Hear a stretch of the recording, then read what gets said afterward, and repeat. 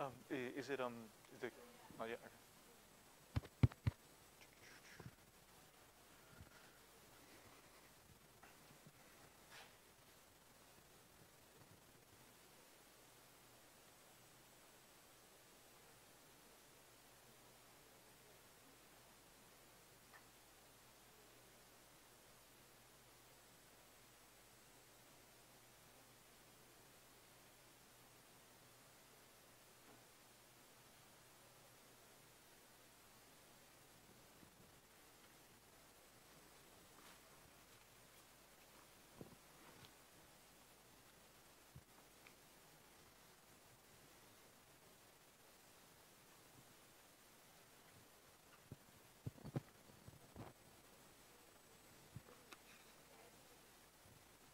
It's on?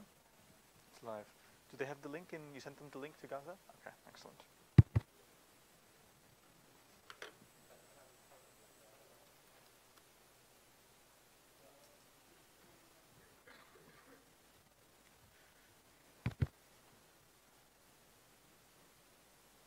Okay. Okay, uh, good morning everyone. Welcome back. Um, how's everyone doing? Good, okay, excellent. So um, today is the second lecture on string theory. And um, today we're going to do a few more uh, um, sorry, one second. Today, better, maybe. Okay, uh, Hannah, can you see if they're okay with this volume now? Okay. Okay, um, today we're going to do something a bit more quantitative. If you recall, yesterday I mostly just said words. There were almost no equations. Today we're going to start to get a bit more into the meat of things. What I want to talk about today is actually basically symmetries and how they affect things in string theory, but also sort of in physics in general. Okay? So, let me just remind you where we stopped last time. Last time I said a lot of words about strings and particles and forces. And then we did a little bit of math. We derived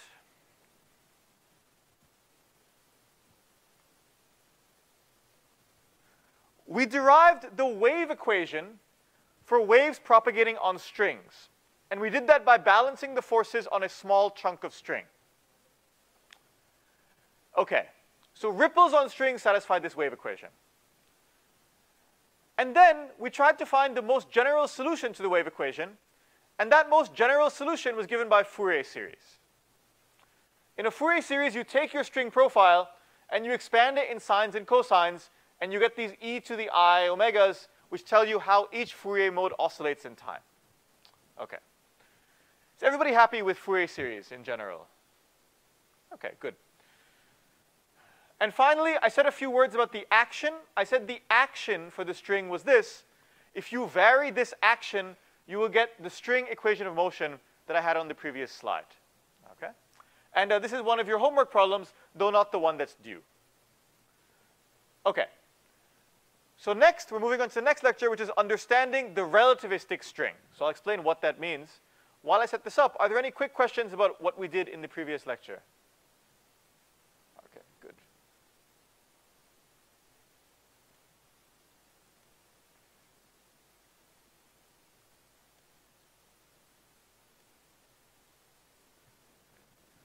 So Hannah, can you ask if they can hear me uh, in Gaza? They asked? Okay, they're good. Okay, because they sent me a message saying we can't hear him. Okay. Okay, okay, right, that's true. Okay, right, right, makes sense. Okay, good. All right, so next, uh, here's lecture two. This is lecture two in this series, and today is symmetries and relativistic strings. Okay. All right, so let's begin. So in the last lecture, as I just reviewed, we understood the ordinary non-relativistic string. This is the normal string that if you take your shoelace and stretch it between two points, how it behaves. Today we're going to understand the relativistic string. So first of all, what do I mean when I say relativistic string? What you should imagine is, you should imagine a string where the bits of it, if you make a vibration, the bits of it might be moving quickly compared to the speed of light. Okay? And you get new structure when that's possible, and we'll explain this as we go along. But this is what I mean by relativistic string. I mean a string that is constrained by the framework of special relativity. So we're going to discuss relativistic symmetry soon. But before I do that, I want to remind everyone about a few things about ordinary normal rotational symmetry. Okay? All right. So here is the xy, you know, here is the, the two-dimensional plane. I have put a coordinate system on it called x and y. Okay? Here is a point in the xy plane. All right. Now everyone knows that you can rotate your coordinate system, right? You are free to use a different coordinate system, which I'm going to call x prime and y prime. All right? The coordinates of a point in the xy coordinate system are related to the coordinates of the same point in the x prime y prime coordinate system by this matrix right here. Cosine theta, sine theta, sine theta, cosine theta. Okay. Now, imagine you have a world that is invariant under this symmetry. Okay, what does this really mean? Assume that the physics doesn't care if you change your coordinate system. This is pretty much always the case. Okay? Your physics shouldn't care if you change the coordinate system used to describe it. Whenever you have such a situation, you should always ask yourself, what is invariant under the symmetry? What is it that does not change under the symmetry? So for example, how about the x-coordinate of the point? Does that change under the symmetry? Yes, right? x becomes x prime. X prime is not the same thing as x. It's rotated, you know, in some way. So for example, the x-coordinate obviously changes, and so does the y-coordinate. So they are not invariant. But if you look at the distance from the origin to this point, that's uh, x squared plus y squared, which is equal to x prime squared plus y prime squared, right? If you work through the algebra, you get some cosines, you get some sines, you get cosine squared plus sine squared, it's equal to 1. This is equal to that. Physically, this is completely obvious, right? If you look at the distance from here to there, if I measure this distance using a ruler, the distance, the ruler couldn't care less which coordinate system I'm using. It's just the distance from here to there. Okay? These things sound really obvious, right? And uh, just, this is the basic idea behind symmetry. So I'm just drumming this into your head for what's going to come next. Okay. This is something a little bit more complicated. Let's imagine we have two points A and B, and we don't connect them by a straight line. Instead, we draw some sort of curvy line between these two points. And now we have some sort of ant crawling on this curvy line. All right? The ant measures the distance from A to B. Does this distance depend on the coordinate system? No, obviously not. The ant doesn't know about coordinates. It's an ant. So the, no matter what coordinates you use, you always get the same distance. Let's quickly derive a formula for this distance. This is basic calculus, but let's go through it. Okay, so here's my curve. Here's my ant. So let's derive a formula for the distance along this curve. So here's x and here's y. Let me zoom in on a little chunk of this thing. Okay, so here's a little chunk of this line. So this little chunk has a little distance in x, which I call delta x, and a little distance in y, which I call delta y. What is this distance from here to there? Well, by Pythagoras, delta s squared from here to there, the length along the chunk, is equal to delta x squared plus delta y squared right? Let me call sigma a parameter that moves along this line. Okay, so sigma is, for example, 0 here and 1 there. In that case, again, by calculus, delta x is equal to dx d sigma times d sigma, right? Delta y is dy by d sigma times d sigma. So in other words, this thing is just this thing right here. And now I want to find the total length along the curve. What that means is you add up each little chunk as you go along the curve. So you sum over all these delta s's. And then you take that limit, you take delta S really small, and then you do this normal calculus stuff, and you end up with an integral along the curve, where the thing in the integral is integral d sigma, because the sigmas are coming from there, of the square root of dx squared d sigma plus dy d sigma squared. Okay. Is everyone happy with this derivation? Again, this is pretty much basic calculus. I'm sure you've all seen this before. There's one thing I want to point out here. This formula is invariant under rotations. In particular, if I do the rotation on the previous slide, this one right here, then you can check that this formula here is invariant under rotations. By which I mean, if you work through the math, x equals to cosine theta x prime plus sine theta y prime, and you go through the whole thing, you get the same formula again, except with x prime and y prime. Okay? And this is happening because the ant does not know about coordinates, so whatever distance the ant measures, better not care about the coordinate system. Okay? So again, this is all pretty much common sense, I think. It should make sense. Okay. So now, is everyone happy with rotational symmetry? Yes. Good. Let's move on to something slightly more complicated. So for example, I did that for a two-dimensional, an ant crawling on a two-dimensional surface. But it should be clear this should work for any number of dimensions, right? For example, if I had a three-dimensional, you know, an ant somehow flying, or sorry, not an ant anymore, a mosquito flying through a three-dimensional uh, space, it's clear that what I do is I just add a dz d sigma squared to this formula, and I will get the length of the curve in the three-dimensional space. In fact, because I'm a string theorist, I'm going to find it really helpful soon to work in an arbitrary number of dimensions, which I will call d. The generalization of this formula to an arbitrary number of dimensions looks like this. Okay? So what is this? This is the Kronecker delta matrix, which is this. It's just the identity matrix. There's ones along the diagonals and zeros everywhere else. And this is just this formula right here in any number of dimensions. If you work out what this is, you will see it becomes dx1 d sigma squared plus dx2 d sigma squared plus dx3 d sigma squared, blah, blah, blah, blah, blah. Okay. I just want everyone to keep that in mind because we have to soon start working in numbers of dimensions that are much larger than 3.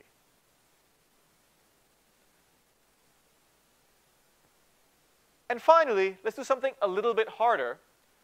Let's derive a formula for the area of a 2D surface sitting in three dimensions. So what we just did was we derived a formula for the length of a line in three dimensions.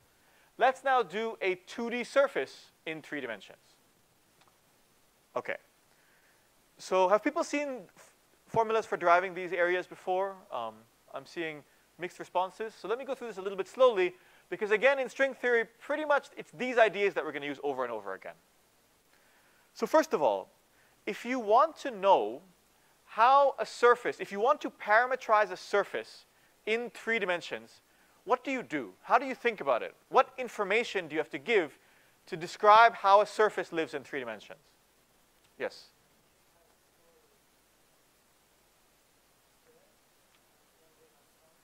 Yeah, yeah, exactly. Small square Riemann sum. Let me go through the details of that in a second. But yeah, that's exactly what we're going to do. We're going to do a small square, and then we're going to Riemann sum the small square. So this is, this is exactly what I'm getting at. So keep this in mind. But let me just be a bit more abstract for a second a surface is parametrized by a vector function of two variables. So for example, here's sigma, let me call those two variables sigma 1 and sigma 2.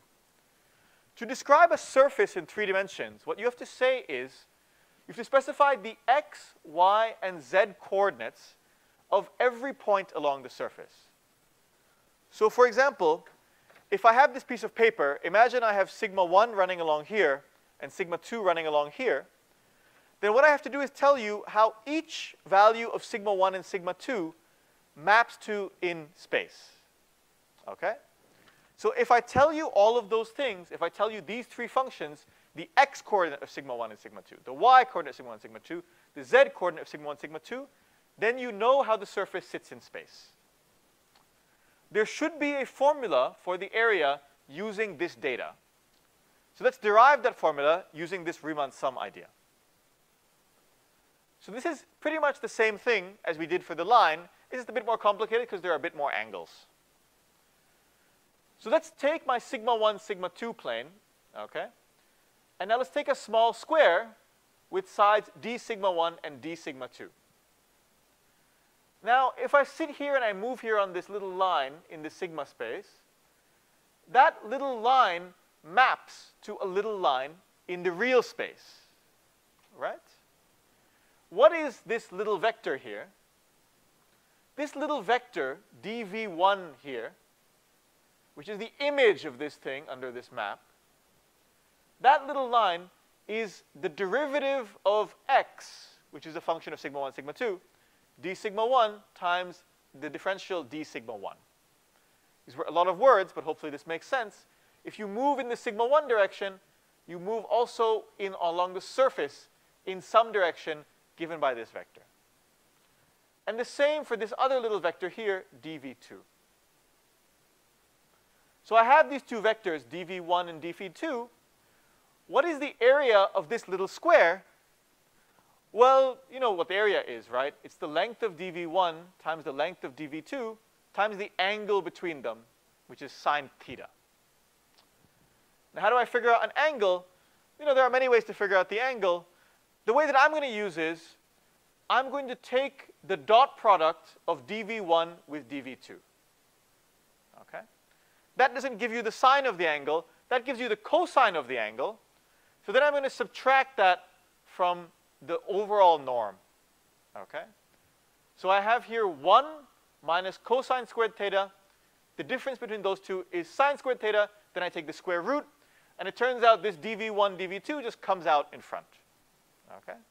So everyone can go through this algebra at home, but it's quite simple. Okay, so this is the area of this little chunk in terms of dv1, dv2. And now we do the Riemann sum. So we sum over all possible little chunks. We take each little chunk smaller and smaller. Each little chunk becomes an integral. And we get an integral of d sigma 1, d sigma 2 times a thing, a particular combination of derivatives, which follows from using the definition of dv1 and the definition of dv2. And we get this thing right here. This is the area of the surface as a function of the coordinates of the surface in space. Okay. Is everyone happy with, uh, with this derivation? Um, any questions about this? We are halfway to string theory now, actually. Okay. Uh, have people seen formulas like this before, actually? Um, yeah, okay, good. This will be important in a second. Okay. Now that we have this area formula, what do we do with it? You know, lots of things you can do with this area formula. One thing that you often learn in sort of uh, classical mechanics courses is you can use this area formula to find minimal surfaces.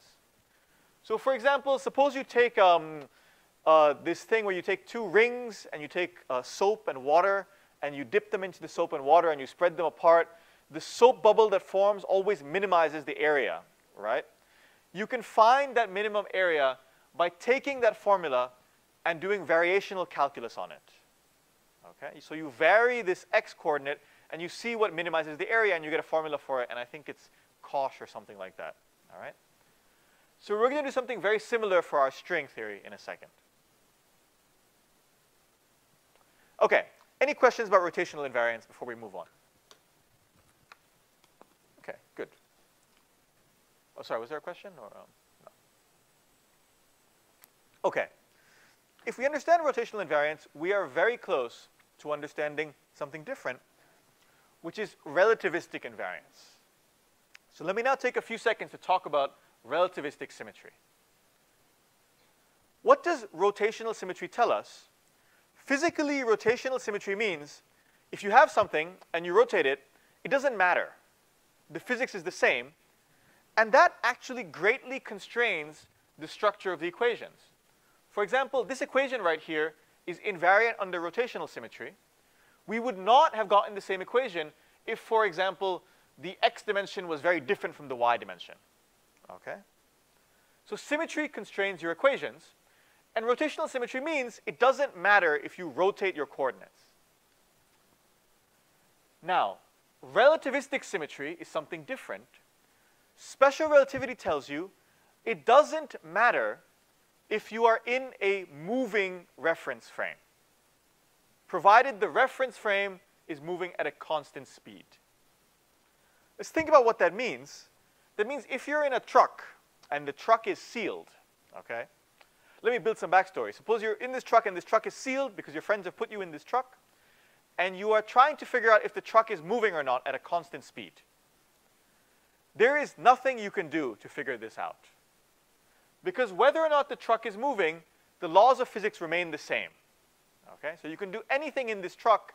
Because the laws of physics are invariant under changing the reference frame, there is no way you can figure it out.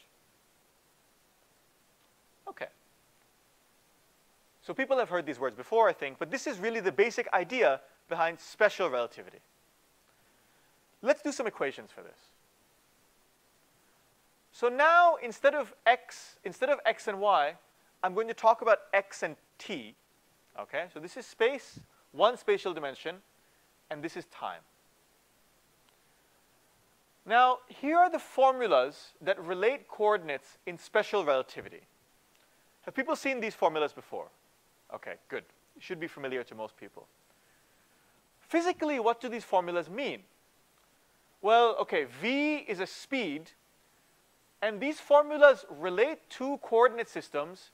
If one of them is at rest, then the t prime, if t and x are at rest, then the t prime and x prime coordinate system are moving with a constant velocity v. Okay? So here gamma is this thing which is a 1 over square root 1 minus v squared over c squared. c is the speed of light. And you can see that x and t get mixed up by this coordinate transformation, right? Okay. So is it clear to everyone why this one is moving if this one is not? For example, if you look at the point that is at x equal to 0 in this coordinate system, then in the x prime coordinate system, it's changing, right? x prime is now gamma vt. So in other words, it used to be at rest at x equal to 0. Now it's moving with some velocity. Okay? Okay. Now again, you can draw the x prime and the t prime axes, and they look like this. Now, I want to point out something about the structure of this transformation right here. So from now on, I am going to set the speed of light to 1. Okay? If you do that, and if you define a new variable eta, which is defined in the following way, cosh eta is 1 over the square root of 1 minus v squared. Okay, so this is the gamma factor if c is 1 then those formulas that I had on the previous slide, these ones that everyone knows, look like this. Okay? T prime x prime is cosh eta sinh eta sinh eta cosh eta times tx. This looks nicer, right? The other one looked a bit random. There was gammas all over the place. Some of them had C, some of them didn't. This is the real structure inside this formula. Okay? So something should be immediately clear this is extremely similar to rotational invariance, right? If you take theta to i eta, and you maybe have to mess with some other signs, I can't remember, you get exactly this thing here. So what I want to point out is, conceptually, special relativity is the same thing as rotational invariance. Rotational invariance says you can mix x and y. Special relativity says you can mix time and space. That's it. Is everybody happy with this basic idea? So now we're going to take this and we're going to propagate all this stuff through and redo all the things we did previously, except with relativistic symmetry. Okay? Okay. So, first of all, what is invariant under relativistic symmetry? Remember, under rotational symmetry, I said that the distance from here to here was invariant. Under relativistic symmetry, there is still a notion of distance, but it's different because this is a cosh and not a cosine. So if you ask what is invariant, well, you know, t itself is not invariant. Sorry, that should have been a t. Um, x itself is not invariant. But the combination of t square minus x square is invariant. For rotational symmetry, we had a plus sign here. Now we have a crucial minus sign, and that minus sign is there because of this structure right here. This combination of t and x uh, is typically called the relativistic interval. It is the invariant distance under a coordinate boost, under a change to a moving reference frame. Okay, let's keep going. So previously we had an ant crawling along a path in space. Now I'm going to discuss something different. Each of us live in space-time. Okay? So in other words, we are, for example, right now I'm at a particular point in space, but I'm still moving in time, right? I started this lecture about half an hour ago, and I will move through time. Well, okay, hopefully I'll keep on moving through time forever. But uh, at some point, this lecture will end at t final. Okay? During the course of the lecture, I'm walking along, I'm moving over here. So I move a little bit in space, but I move mostly in time. Now here's another thing. With the ant, we had the proper distance along this line, and I said that that proper distance that the ant measured did not care about the coordinates. A slightly less obvious fact is, if me or you or anyone moves along a trajectory in space-time, the time that you measure does not depend on the coordinate system you use. Okay? So let's now try to derive a formula for the time elapsed along an arbitrary trajectory in space-time. It's going to be the same thing as the ant, just with a few extra minus signs. So how do we do it? Well, again, it's really a lot like before. Previously, we had this ant, and we looked at a little chunk here. Now we look at a little chunk along this space-time trajectory. This little chunk will move a little bit in x, and it'll move a little bit in time. Okay? Because the path is parametrized by a function t. In other words, t of sigma tells me how I move through space, sorry, how I move through time, and x of sigma tells you how I move through space. So this path is parametrized by a function t of sigma and a function x of sigma. So if I look at this little chunk, then there's a little distance delta t and a little distance delta x. But now, because the time elapsed along the path is invariant, how can that time elapsed depend on t and x? Well, it has to be invariant, which means it must be delta t squared minus delta x squared. Does this make sense to everyone, why there's a minus sign there? Sorry? Because of what, sorry? Well, you could think of it because there's an I complex, but I think the way I'd like you to think about it is from this instead. Okay? Because notice the only combination of t and x that is invariant has to be t squared minus x squared. Okay? So that's the way I would encourage everyone to think about it. There's different ways to think about it where you can stick some i's in different formulas. I have to confess I don't like those very much, but this is a matter of taste. Um, but yes. Yeah. Oh, good. I set c to 1. So actually, it's c squared t squared minus x squared, but c is 1. So therefore, this is invisible to me. Yeah. I'm really glad I put that there. Yes, but c is 1. Yes. Okay. I think Ann is keeping c in her lectures today. Is that right? Trying to, yeah, okay. But the truth is, most of us working in this field set C to 1 so many years ago that it's an extremely difficult thing to put it back everywhere. So I am not even trying. I just set C to 1 from now on. And uh, I'll point out that setting C to 1 is useful because the formulas look really pretty if you set C to 1. Look, this is this cosh-sinh thing. It's really kind of nice. Okay, so setting C to 1 is a natural thing to do when you're thinking about relativity. Good. Um, other questions before I move on? So again, let me just remind you, this distance is invariant if you put a minus sign there. And because we want this distance, this time that I measure to be invariant, that is why I'm putting the minus sign here in between these two. Okay? This is the only formula that is consistent with this relativistic invariance. There is no other formula that is consistent. Okay? Okay, so there's a minus sign in between these two things. And now I do the same thing. I do this Riemann sum. I sum over all of these little chunks of d sigma. I sum over all of them. As I take the d sigma very small, the sum becomes an integral. And I get this thing right here, which again should look really, really familiar to everyone. It's the same as the formula for the ant distance that I had previously, but with a minus sign there. By construction, this formula is invariant under this transformation, which means that it's invariant under this transformation because they're the same transformation. These transformations are called Lorentz transformations, and the point is this formula is invariant under them. Okay?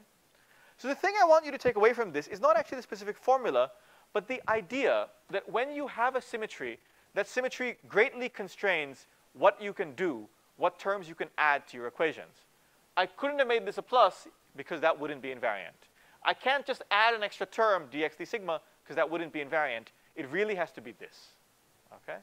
And this idea is much more powerful than the things I'm going to tell you about string theory. Okay. Any questions about this formula before I move on? Okay, good. So again, it should be clear that we can do this in any number of dimensions d.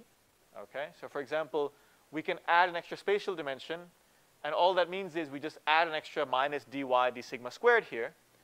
And in fact, because I like to work in an arbitrary number of dimensions, I'm going to write down this formula right here. This is the generalization of that formula to any number of dimensions. It has a dxi d sigma, a dxj d sigma, and they're contracted against this matrix right here. Okay?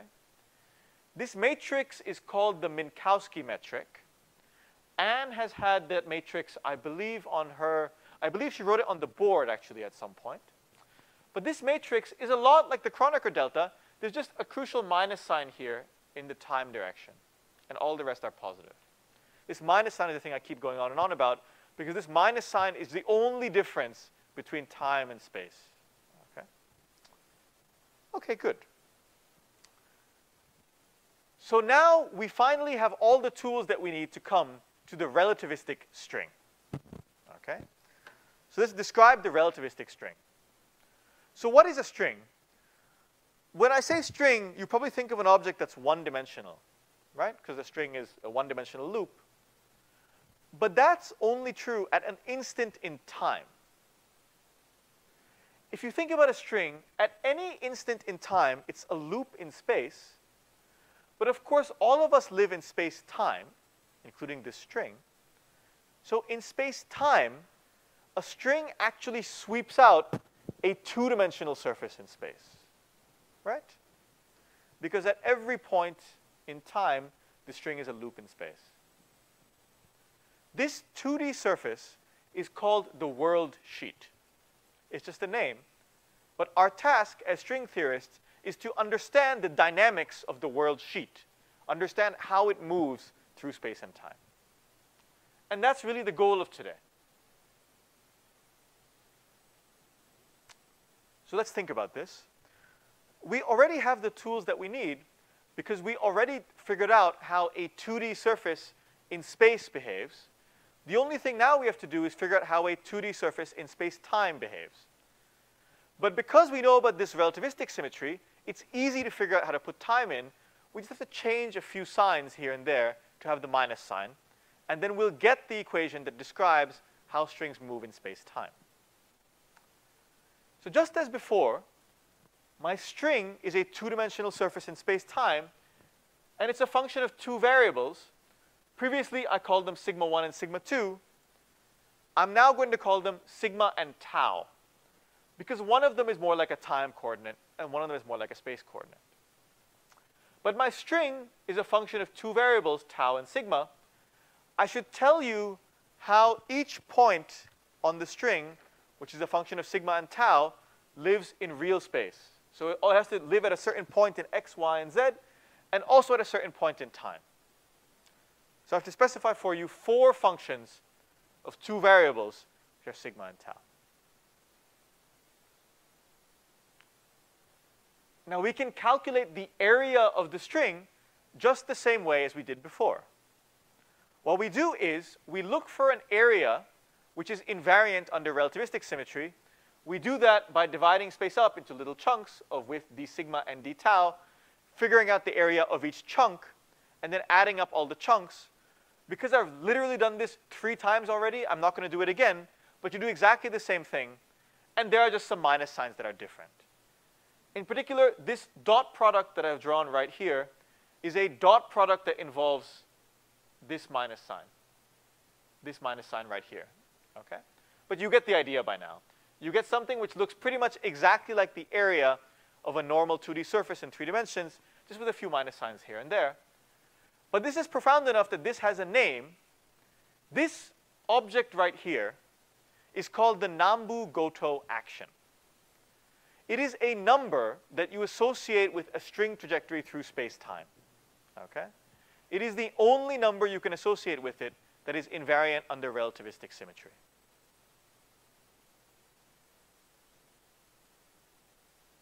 Okay. So this is a kind of area that you can associate with the string. I say kind of area because part of the string is living in time and part of it is living in space. So it's a slightly strange object, but conceptually it's still like an area. Okay? So now I have to tell you a fact about how strings move through space and time. So here's a fact about how they move. Strings move through space and time in a way that extremizes their area. So for every string trajectory in space and time, you know, you can have the string pretty much living like this, or you can have the string wiggling and rippling as it moves through space and time. This is like a string that's expanding and contracting. This is like a string that's okay, and suddenly it expands and then it contracts again. Each of these string world sheets has a different area which you can calculate like this. The way that the string actually moves through space and time is in a way that will extremize the area, okay? So in other words, we, of all of these things, we should figure out which of them is an extremum, and that is how the string will move. So this should remind you of classical mechanics. In classical mechanics, you know that particles move in a way that extremizes their action, right? You have the integral of the Lagrangian, which is the action. Particles always move in a way that extremizes that action. In string theory, it's the same, but strings move through space and time in a way that extremizes their area. Okay? Are there any questions about this uh, before I go to some formulas? Yes? Yes.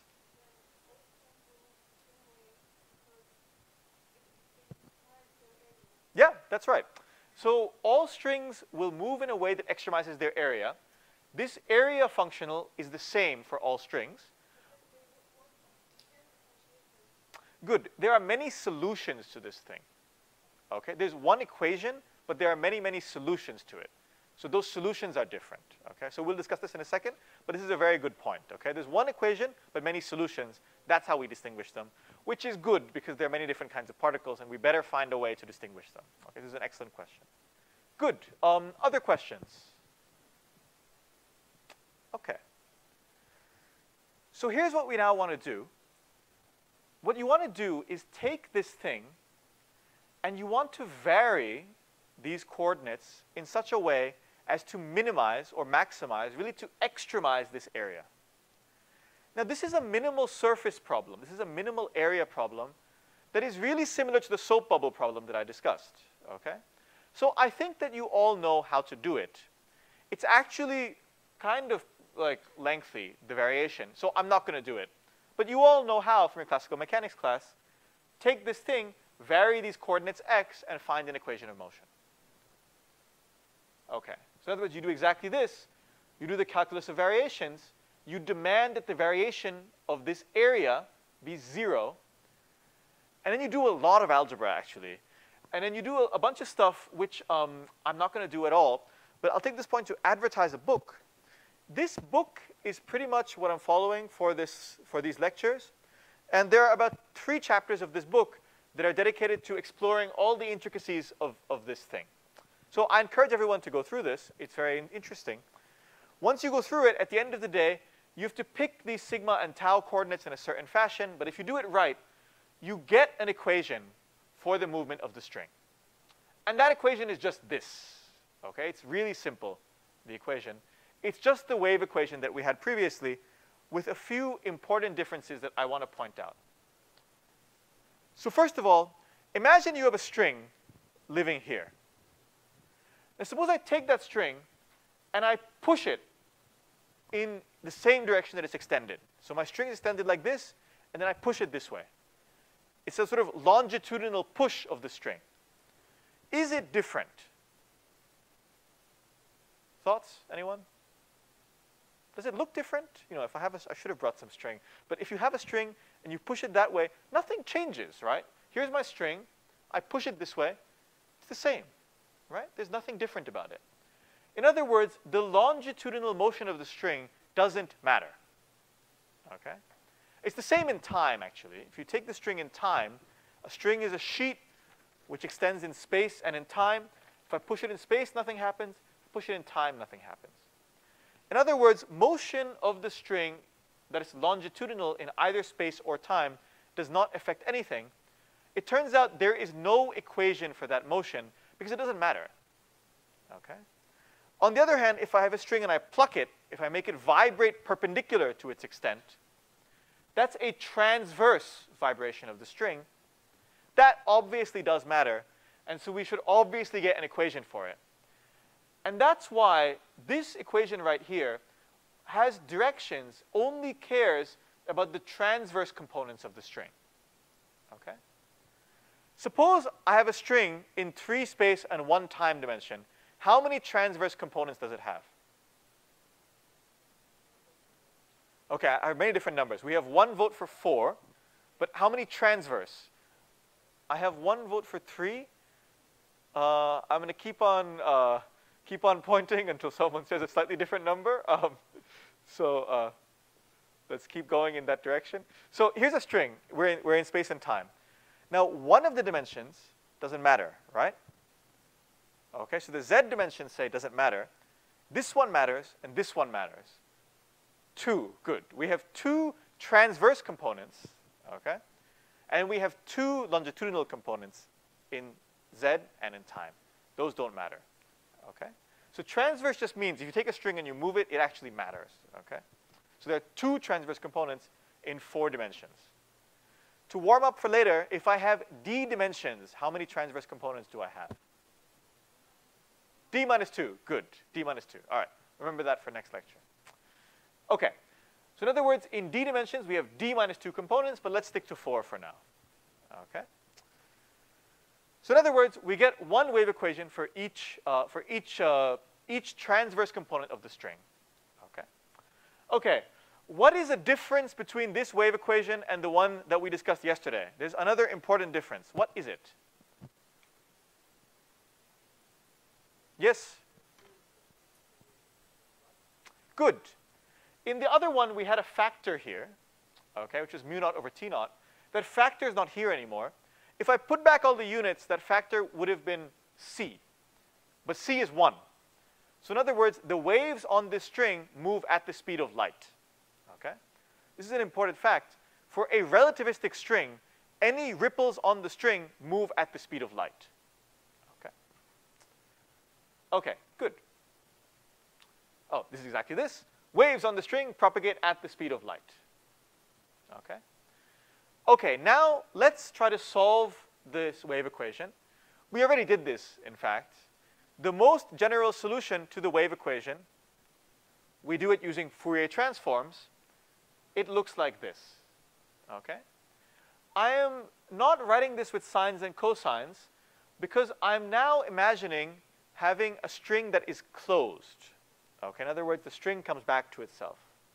The previous thing, I had the string that was open and tied because that was sort of more physical in everyday life. For string theory, I'm going to want to talk about a closed string. So imagine a string that comes back to itself. What that means is these things that we have here, sigma moves us along the string direction. So as I move in sigma along, I better come back to myself.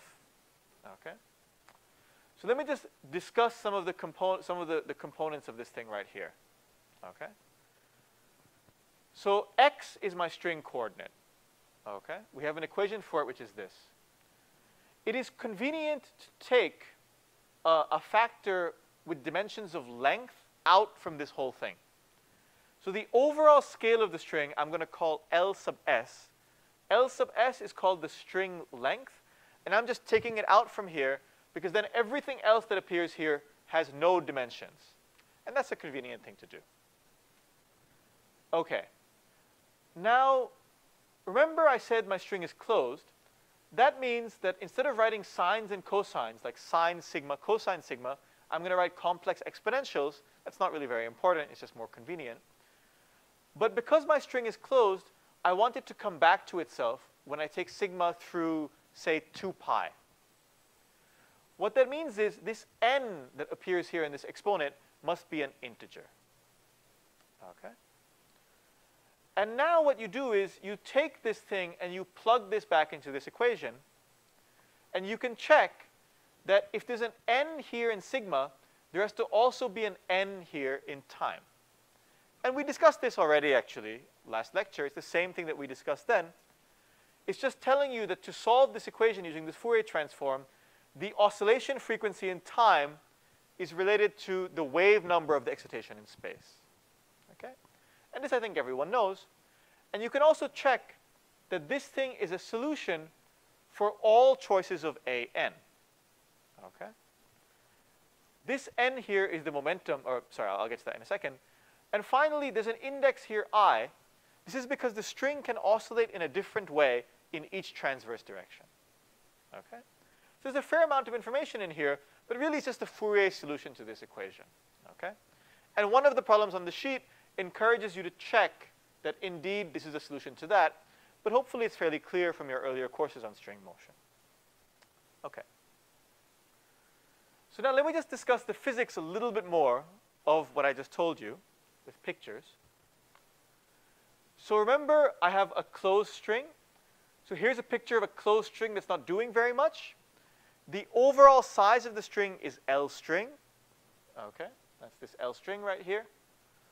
Now imagine I take this A, say I take A1, okay? I take A sub 1, so I set n equal to 1, and I crank it up a little bit. So I take that one and I make it bigger. Then that guy couples to a certain thing in space, all right? So for example, A1 looks something like this. As I move around this thing once, I fit in a single wave into this closed string, okay? This is the simplest thing that I can fit there.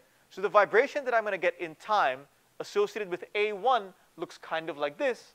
I have this string and it'll vibrate in this way, okay? Now A2 is different right? If you look at A2, A2 multiplies something that's like e to the 2i sigma, which means I have two periods as I go along the string, which means that it doesn't just oscillate once in space, it has two periods as it goes along and oscillates twice. It should be clear by now that this n can be any integer, and this integer tells you the wave number of the excitation. These are the different harmonics of the string that I told you about. And classically, these A's can take on any value that they want. Okay, it'll still be a solution. Okay. Are there any questions about this? Okay, very good. So that is actually, uh, I thought I had a final slide. That is actually the end of this lecture. So in this lecture, we discussed the classical motion of the string. And to be honest, the most important thing that we did conceptually was understand that symmetries constrain our equations. And the most important thing that we did for string theory is we wrote down this general solution to the string motion. Okay? So this is where we'll take it on in the next lecture. Okay, questions? Yes.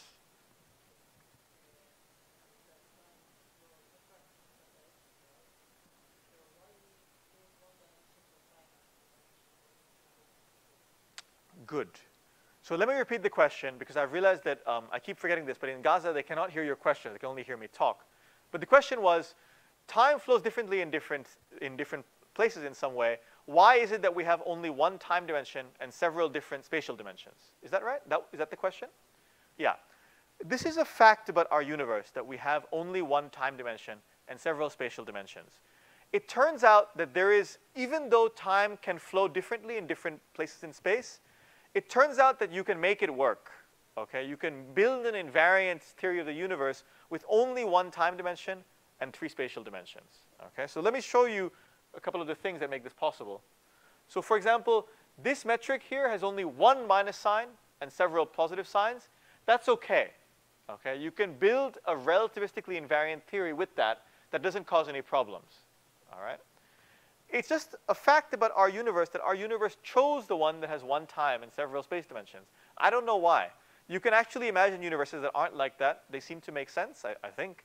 Um, but that's not the one that we live in. We just live in one like this, and it's perfectly fine. Okay? I don't know, yeah, I don't know what to say to that why question. A lot of why questions don't really have answers. I can just say, it's the way it is. So um, this is one of them. We have one time dimension because it's the way it is. So, yeah, good. Um, other questions? Oh, sorry. Ann. I realize, yeah. Um, Hannah, could you uh, help me with the microphone? Actually, do we have any questions from Gaza? or? They may have lost uh, the signal, yeah. Okay.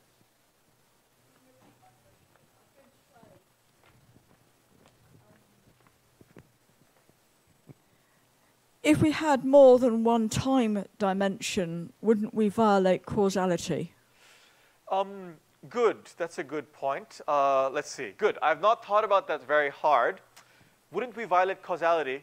I think we would clearly violate the notion of causality that we know and love from our everyday life with one time dimension. I wonder if there would be a better notion of causality that we would get instead, and then that would be okay. I, I don't really know. It's a, it's a good question, right? Um, you could have a relativistically invariant theory with two time dimensions and two space ones. That would be invariant under a different group, I guess, SO2, comma 2 instead of SO3, comma 1. And so maybe that would result in a different notion of causality. I really have no idea, to be honest. Yeah. So um, maybe. yeah. It's a it's a it's a good question. Yeah. Yes, exactly. Violate causality the way that we currently formulate it. So it would look totally different. Imagine how confusing it would be. You know, you're trying to meet someone at 2 p.m. and it's no longer necessary to say 2 p.m. You'd be like, I'll meet you at the square at 2 p.m. and 5 p.m. You know, because you could miss them because you have to specify two different time coordinates. So it would be extremely confusing, you know, in that way. So that would be bad, but um, yeah. Good. Um, any other questions? Okay. Uh, in that case, um, we can. Uh, what is on our schedule? We can uh, we can pause um, for a 15-minute break, and then we'll restart again in 15 minutes for cosmology. Thank you, everyone.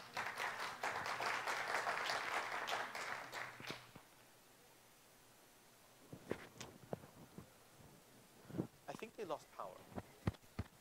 That happens because at least I'm not even like I don't know if like like it's got a green light. There's a green with a circle in it for me. Oh. Do you have the same? What does that mean? Yeah, what does that mean? That's different from straight up green, right?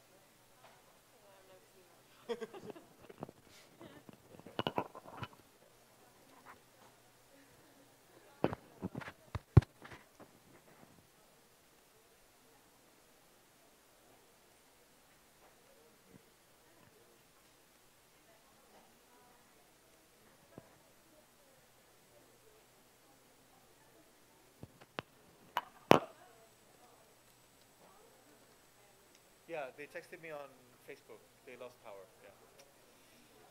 Yeah.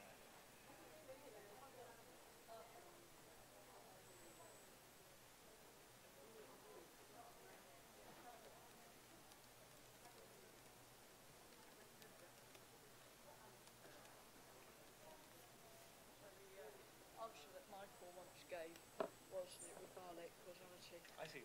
Clearly, clearly that's right. Yeah, yeah. I, I don't know. Yeah. But of course, So is this something that some people have studied then? I think I didn't know that. Um, I, don't, yeah. know. Okay, I don't okay, know. right. I just yeah, yeah. Right. Yeah.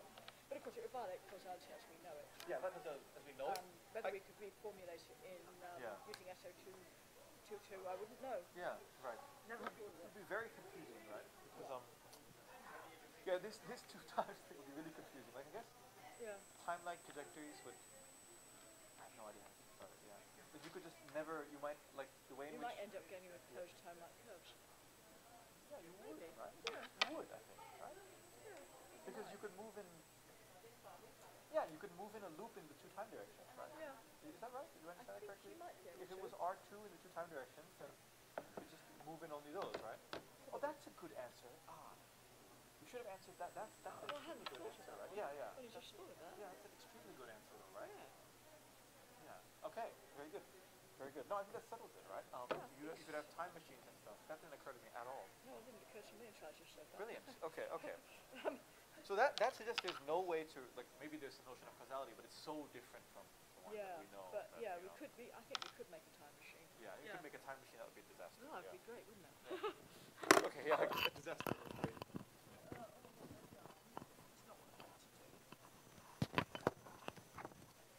Alright. I think that was a bit too hard. Actually.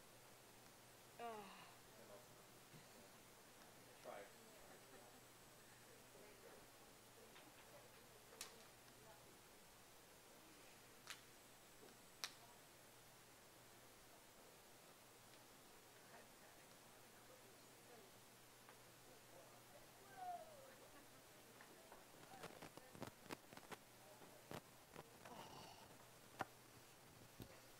Girls are being very quiet today. They lost power. Sorry? They lost power. We missed some questions. Oh, that would shut them up, then, wouldn't it? Yeah. I'm sorry. yeah, yeah. Um, yeah. So um, no, it's a bit, a bit unfortunate. yeah. Uh, I shouldn't say that. I appreciate their questions. It is sometimes not quite their persistence.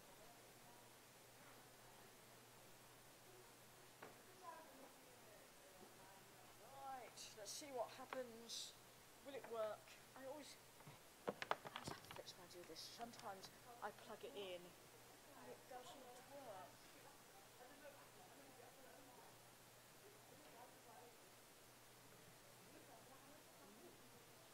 Perfect. Okay. I'm gonna get a coffee and then still have time.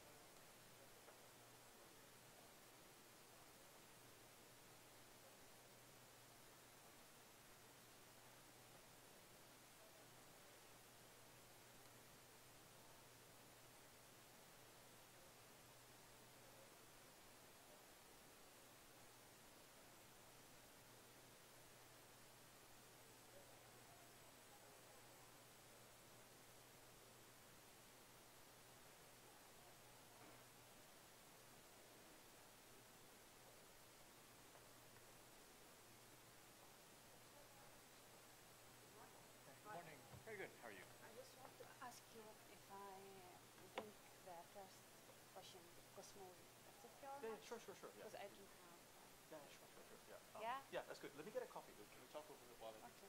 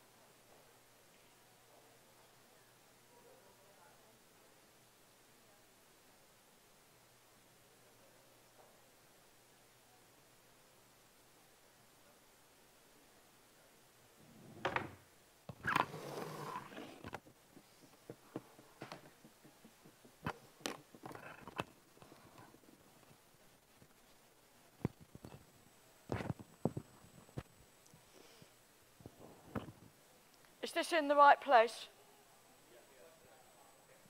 Can you hear me?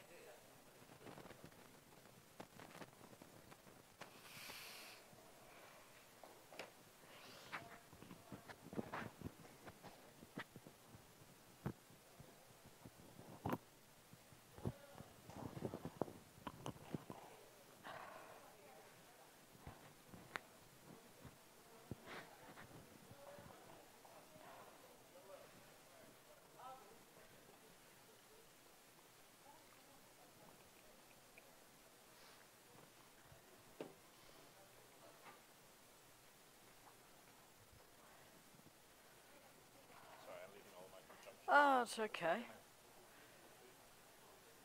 You got enough stuff?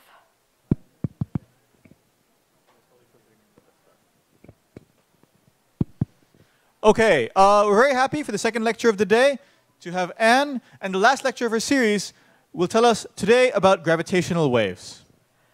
Okay, well, thank you. Um, after the first lecture on Sunday, somebody asked me, how can I find out more information?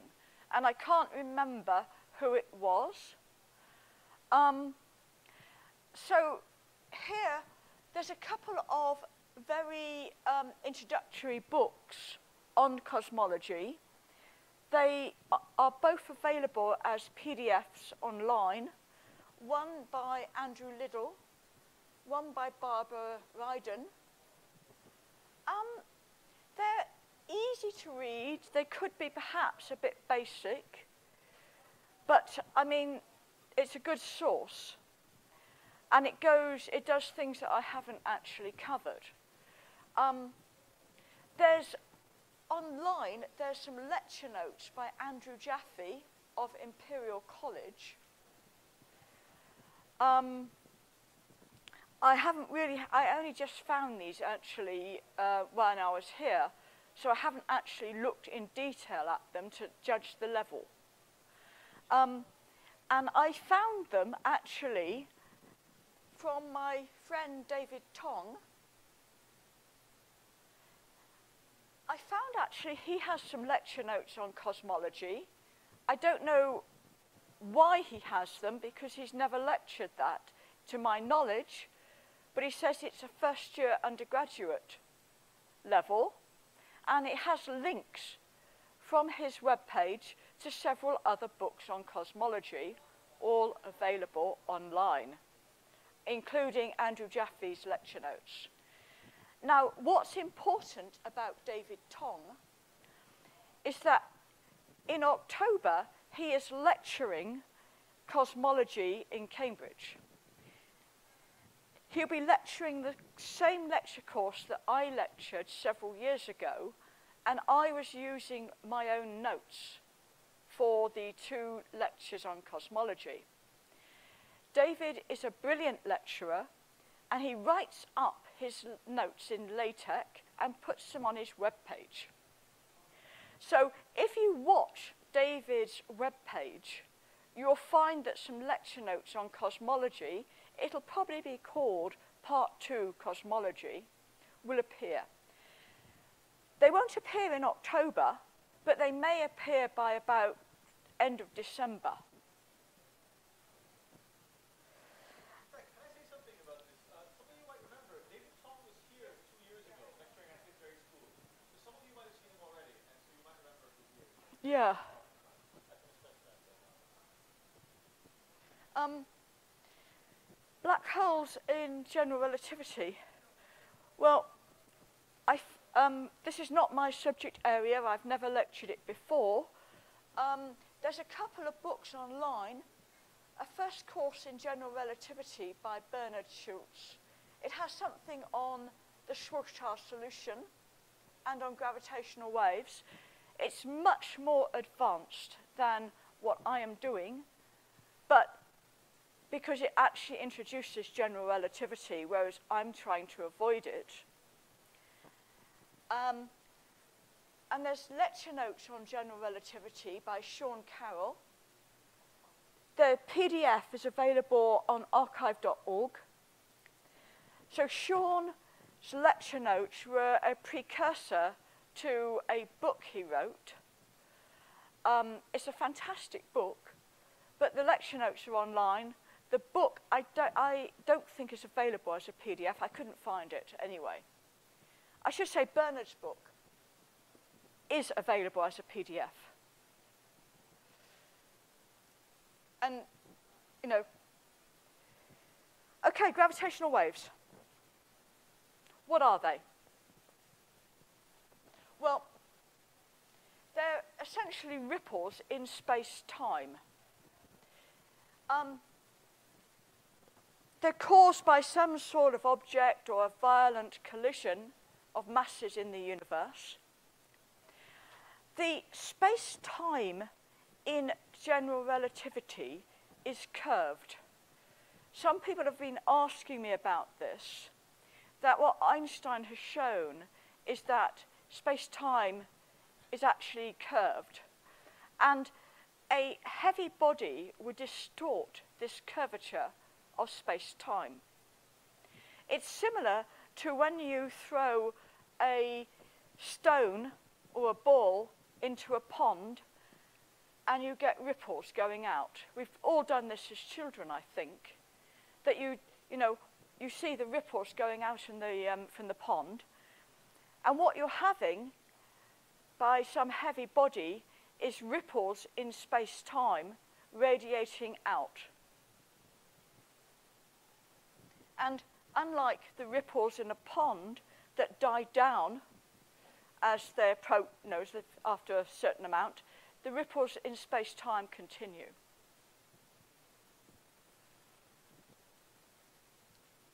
So if we, for instance, have two black holes, they're really, really massive. As they orbit one another, their orbit decreases until eventually they coalesce. And then they, something violent happens and then they settle down to another black hole. The orbiting of the black hole will distort the space-time and will cause gravitational radiation. And we get an even bigger burst of gravitational radiation as they coalesce. We'll be doing that. Um, when they coalesce, we get some sort of spike in the gravitational radiation produced, what's called a chirp. And then we get what's called the ring down as the violent event, the two black holes merge and settle down into a subsequent black hole. And this is essentially what LIGO has detected. LIGO is a massive ground-based interferometer specially built to detect gravitational radiation and it's observed the merger from several black holes now, and also from a neutron star binary. Um, I should say that I said that, you know, you can get gravitational radiation from a massive body distorting space-time. Now, the radiation comes at a certain frequency and detectors have to be at that frequency to detect it. LIGO has been built to detect these sort of black hole mergers or mergers of binaries. And they're at the frequency of LIGO. At some stage, we will be having a, um, a space-based gravitational wave detector called LISA, and that detects frequency, a different range of frequencies. And that could actually detect some of these primordial black hole things if they exist. Um, I think I've covered that. Yeah, unfortunately, I couldn't steal the um, diagram of the black hole binaries going round each other. I'm really not very technolo technological. So let's understand this. What is the gravitational radiation of a binary? So let me define the total mass as M1 plus M2, the mass of the two individual black holes or individual components of the binary, and the reduced mass, M1, M2 over capital M. Now, what is gravitational radiation? Well, it carries the radiation off to infinity, otherwise we wouldn't have detected it. But that's a prediction anyway. Um, now, the luminosity of some radiation source is uh, the amplitude squared times 4 pi r squared. So the amplitude must scale at large distances as 1 over r so that we can carry the radiation off to infinity. And when we sit down and work it out, it has to be a quadrupole radiation. What's a quadrupole? You know what a monopole is? Monopole. Charge of the electron. So let me draw that as a point.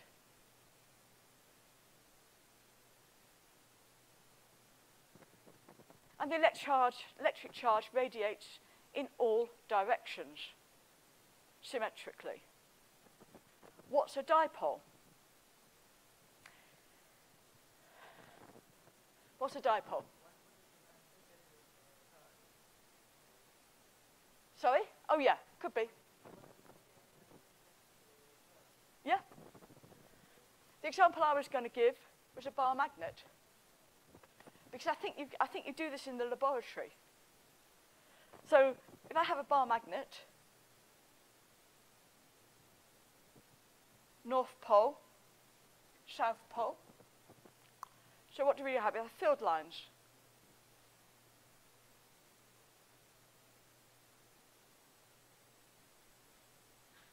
And that's a dipole. And of course, I could have a dipole from, um, as you said, two charges. Um, that would give me a, a dipole.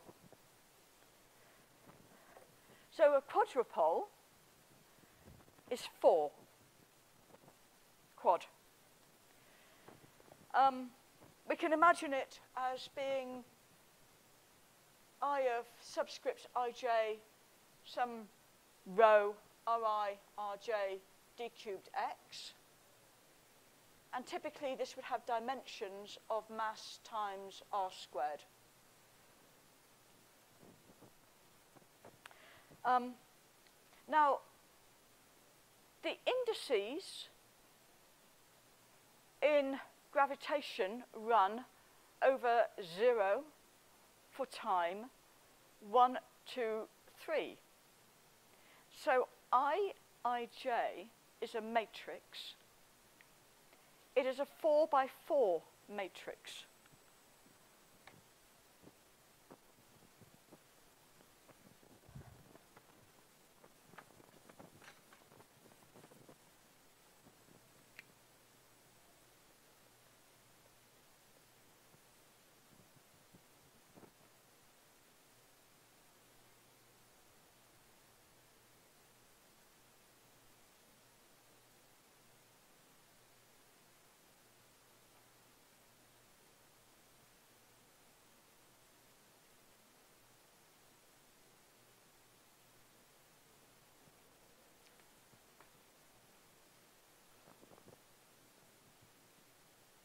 Like that. I'm not putting all the entries in, you can. Okay, 4 by 4. That has 16 components. Blimey, that's a lot. But we can use symmetry principles here to relate them. So we actually want this to be traceless which means that these diagonal elements have to sum to zero.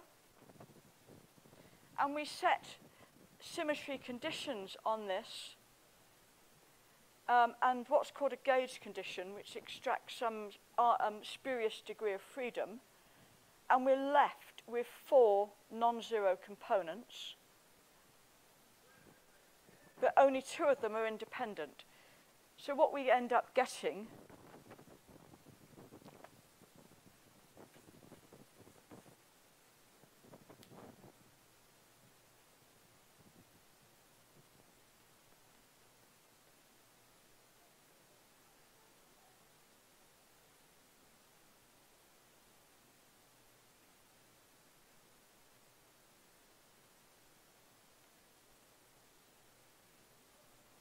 is this. And traceless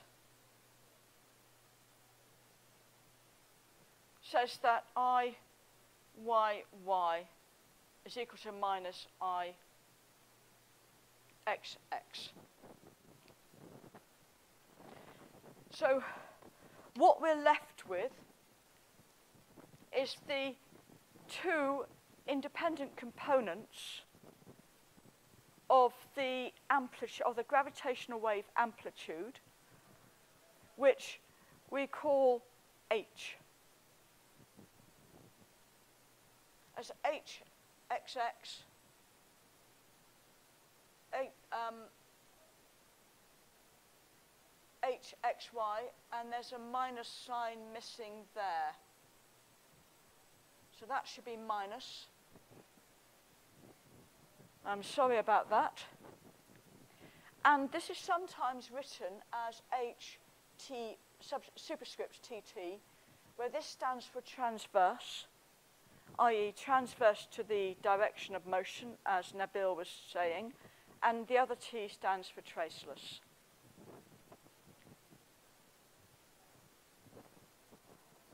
Oh dear, what a sign. Why is the minus sign missing? Okay. So what happens when a gravitational wave um, propagates? I mean, what we're finding, because it's, we've got two independent components, these are what's called two polarization states of the gravitational wave. I think you know about electromagnetic polarization. And, you know, one knows about this even in real life. Um, so let me consider a ring of particles. Here I've got a circle of particles, three particles in the z direction. And let me send in, I'm always doing this, sending it the wrong way. Let me send in a gravitational wave with hxx non-zero and hy zero. This will distort the, the motion of the particles in one direction, and it's very similar to Nabil's oscillations that he was having on the string. I didn't know this, by the way. So it distort the ring of particles like this.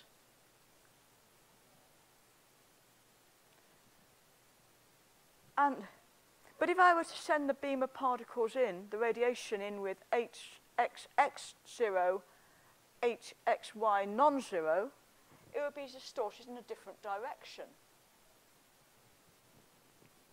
So the effect that this has on, on the wave is it distorts things depending on the polarization states. We can do a little bit better than that because we can start to see what would happen to our detectors what happens when a gravitational wave passes through a bar? Now, really, we need to sit down and solve Einstein equations, which would take about 16 lectures um, to set up and then solve. Or maybe 24, I'm not quite sure. But let me give you a heuristic argument. And one of you or two of you can tell me if I've got the uh, C's in the right place. I, I've tried to put C back. So let me define u as ct minus z and v as ct plus z. Now, ds squared was minus c squared t, dt squared plus 3 vector dx squared. I can rewrite that in terms of u and v, and it's minus du dv plus dx squared dy squared. Now, let's try. Well, this is very linear. That's a very linear solution. And, and general relativity, gravitation is non-linear. So let me try to make this slightly non-linear. Let me introduce some function here. F squared of u, g squared of u. I could make this more general, but this shows the point. And now I want to solve the most general vacuum equation. The most general vacuum equation for those two quantities, f and g, here you have to believe me, is f double dot over f plus g double dot over g is zero. Actually, that, that sort of looks familiar, doesn't it? We've seen equations like that before. Anyway, how do we solve this? Well, we could choose a function of g, choose g to be something, plug it into that equation, and solve for f. And by the way, the dot is with respect to u, because f and g are functions of u. So let me choose something arbitrary for g and then solve for f. And let me assume that g is about unity. So I'm going to write this as 1 plus epsilon of u, where I'm taking epsilon to be some small quantity. Plug this in, and you find that f is 1 minus epsilon. And then if you actually sit down and do this in your notebook, you'll find that there's a corrections to this of order epsilon squared. And I've dropped those order epsilon squared corrections because if epsilon is small, epsilon squared is tiny. So this is a good solution. In other words, when the gravitational wave passes through the bar, it is stretched in one direction, the g direction, and compressed in the other direction, the, so stretched in the g, com compressed in the f direction. And that's exactly what we would find if we were to solve the GR equations.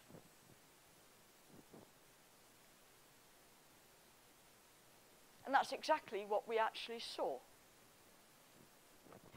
So this is LIGO. It's an interferometer consisting of two arms, 42 kilometer long arms, arranged at an L shape, 90 degrees. Um, these act as antennae for gravitational waves. They're based in the United States, one at Hanford and one at um, Livingston. And they are thousands of miles apart because the United States is a rather big country. And I realise I have not put down the distance. We now have a third interferometer called Virgo, and this is the same design, and it's in Italy. Um, the first gravitational waves that, you, that were detected were just detected with LIGO, and it meant that we had an approximate patch of the sky for the event, but we, didn't, we couldn't pinpoint it.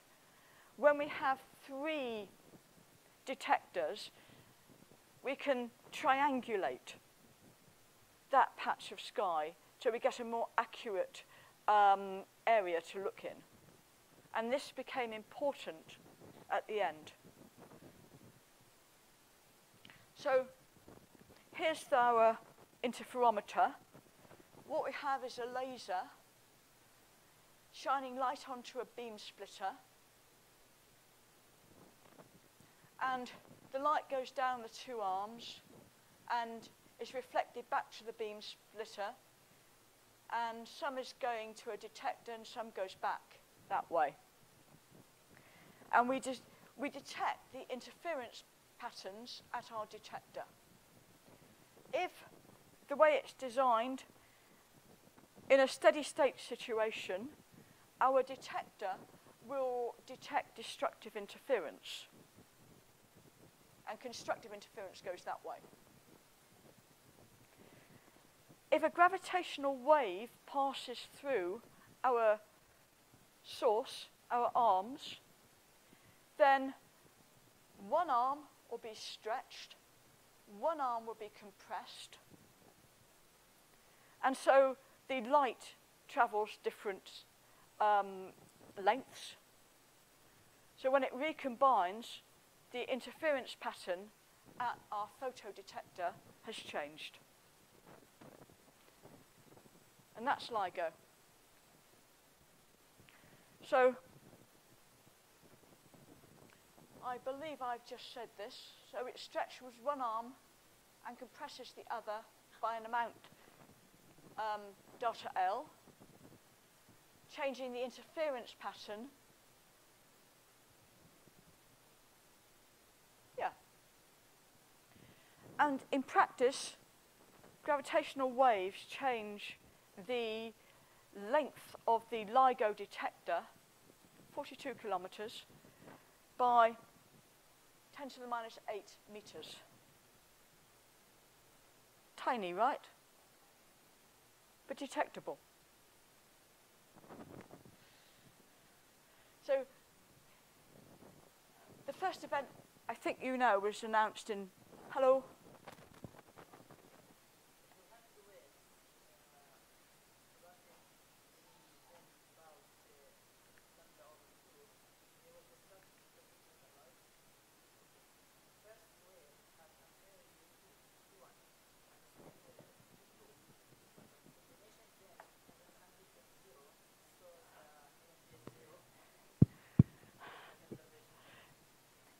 a bit more complicated than that. We have to sort of work it out.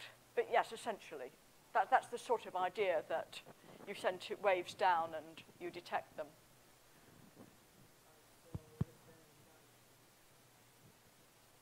But it is a bit more complicated. I think there's another one further back. I mean, I might not get too far today. Uh, so 10 to the minus 18 meter is much smaller than the wavelength of light, right? So how can it be detected? Well, the way the detector is a um, is a bar is, is, is this um, the detector is this uh, uh, this metallic rod, um, and we're detecting it with laser light, and I've no idea what wavelength of laser light they used. What like it's it's even much smaller than X-ray light, no? Like I think. I yeah, um, I don't know. Okay, it was, thanks. It was detected. So I mean, it, it, it's tiny, but I think that you can, i- that while it's smaller than the wavelength, if you wait long enough, the noise averages out. So I think that has to do with it. You Yeah. Oh, to- oh sorry. Yes. Yeah. So yeah, because it bounces back and forth, yeah, exactly. so it adds up. yeah. Oh yeah, I'm sorry, yes. Um, in LIGO, in our interferometer, it, bounces back and forth from our, um, in these, um, the, these, there's two mirrors here. And it bounces back and forth in these before it goes to the beam splitter. And I don't know how many times it bounces. I'm sorry. Um, so we detected this gravitational wave in LIGO in September 2015. Then they had a few more, actually. Um, the first one was a brilliant signal and they deduced it was mass, uh, two black holes merging, one with mass 29 solar masses and the other of 36 solar masses. And essentially five solar masses was given off to, um, to create, oh, less than that actually. And the resultant black hole was 62 solar mass, so that's um, three solar mass of radiation given off.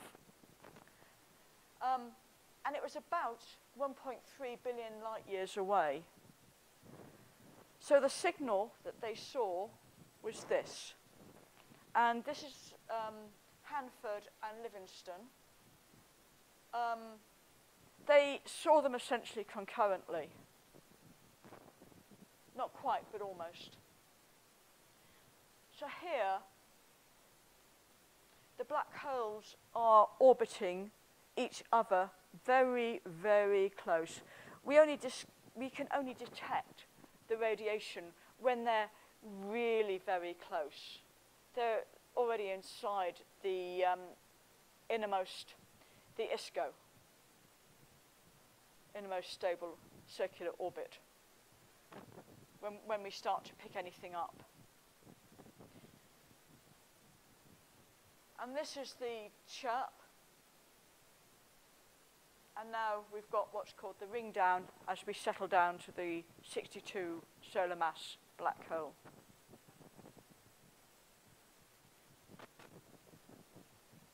And how they just they detected the frequency in hertz from the two machines. And you, I think you can see by eye that the patterns look really quite similar in from both the two detectors. Um, hello. Do you want to get the thing over there? How do they know the solar mass of each black hole from the detected radiation? Um, so when you start to pick up the gravitational radiation as they're orbiting each other, I mean very, very close. So from the from the frequency and the amplitude of the radiation, you can figure out the individual masses. It's quite technical how you do that, but um, have you done normal modes? No. Um, you can start to do it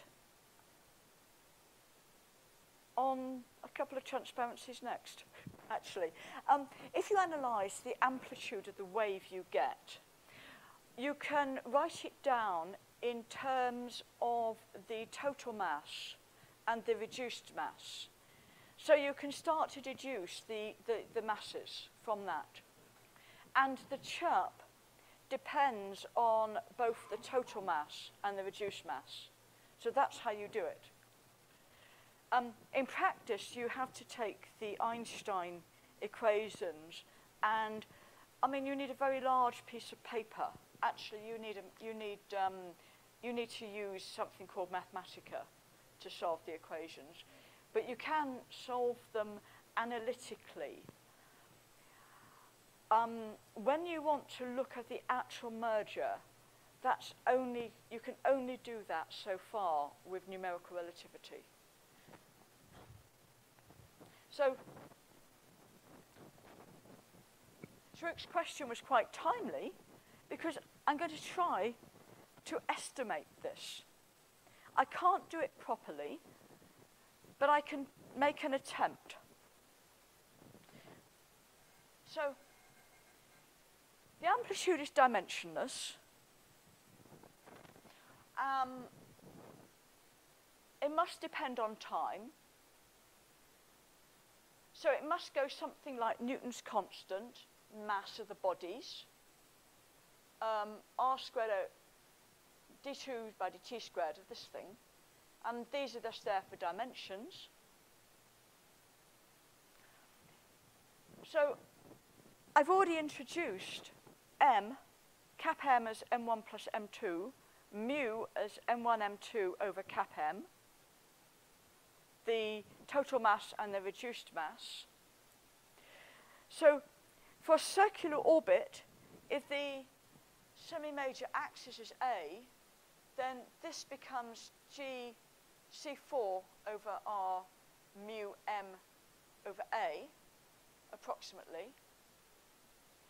And d2 by dt squared is the orbital angular, proportional to the orbital angular frequency, which in itself is proportional to the mass. Omega squared a cubed is m, and mr squared is about mu a squared. So plug that in to get that formula.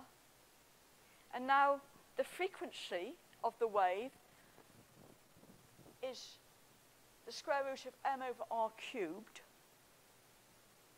Plugging this in, we start to get an amplitude in terms of mu and the mass to the two-thirds, the total mass to the two-thirds power and the frequency to the two-thirds power. So what you do is you define, because that's the way it works out, the mass of the chirp. And the chirp, as it sort of goes through, to be mu m to the two-thirds, and this is written down as m to the five-thirds, the mass of the chirp. So that is the chirp mass. Then you put in all the missing factors, and this is the actual formula for the amplitude of the gravitational waves. So we've got the chirp mass, and we measure this. We can measure this. I can't, but it can be measured from this signal.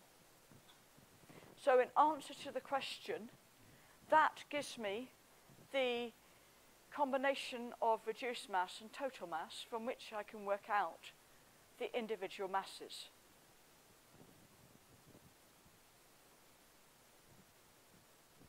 And it gives me the frequency of the gravitational wave. So I've got everything there. We can detect it. And we do. And it's amazing. So here we go. Here they go orbiting. Big chirp coming from here. And the frequency of the chirp. And then we settle down to the ring, ring down. Okay. Now LIGO has seen more than that. They saw the merger of two neutron stars. And this was so fortuitous. They just switched on Virgo. It was just working properly and coordinating with the two LIGO detectors when they saw a gravitational wave radiation coming. And they told every optical telescope in the world within, um, it's all automated.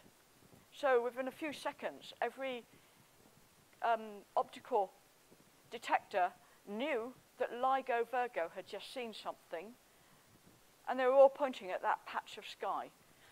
Because we had the three um, detectors now detecting gravitational radiation, they could pinpoint the patch of sky that it was coming through just triangulating up to quite a small um, area.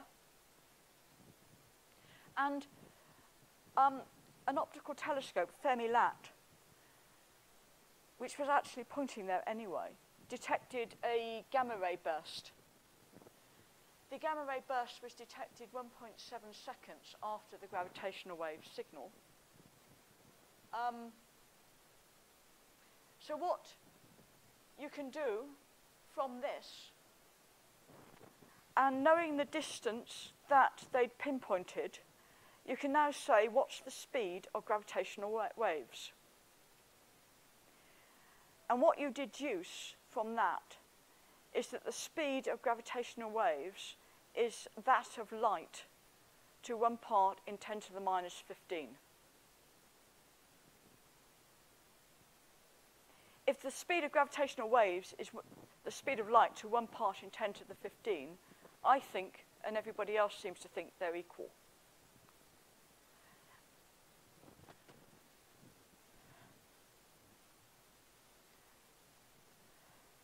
And if they're equal, if they're strictly equal, what this also means is that the particle associated with gravitational waves, let me call this graviton, has zero mass. In the same way that you talk about the photon being, being the particle of electromagnetic waves, we can say a graviton is the particle of gravitational waves. The photon has zero mass. Now the graviton has zero mass. Actually, Einstein wrote his equations down as having zero mass, graviton. But some of us have played with cosmological models where, called massive gravity, where they may not have zero mass, but they might be a tiny mass, but not strictly zero. And what we now know is that there's a very strong constraint on such models. Some of these models have been used actually to try to understand dark energy. So now we've got a more restrictive set of models for dark energy. So we're coming back to cosmology that this neutron star merger has now had implications for cosmology. And it's great. It's great fun. And I have a sneaky suspicion that that's my last transparency. Yes.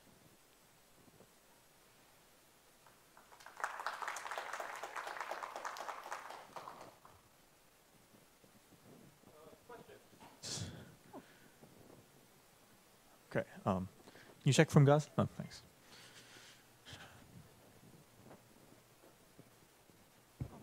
Uh, I want to ask if the gravitational wave uh, could be affected by uh, stars and other astronomical objects by its way to the Earth. Ah, yes. Because yes, because um, any gravitational object would distort the space-time.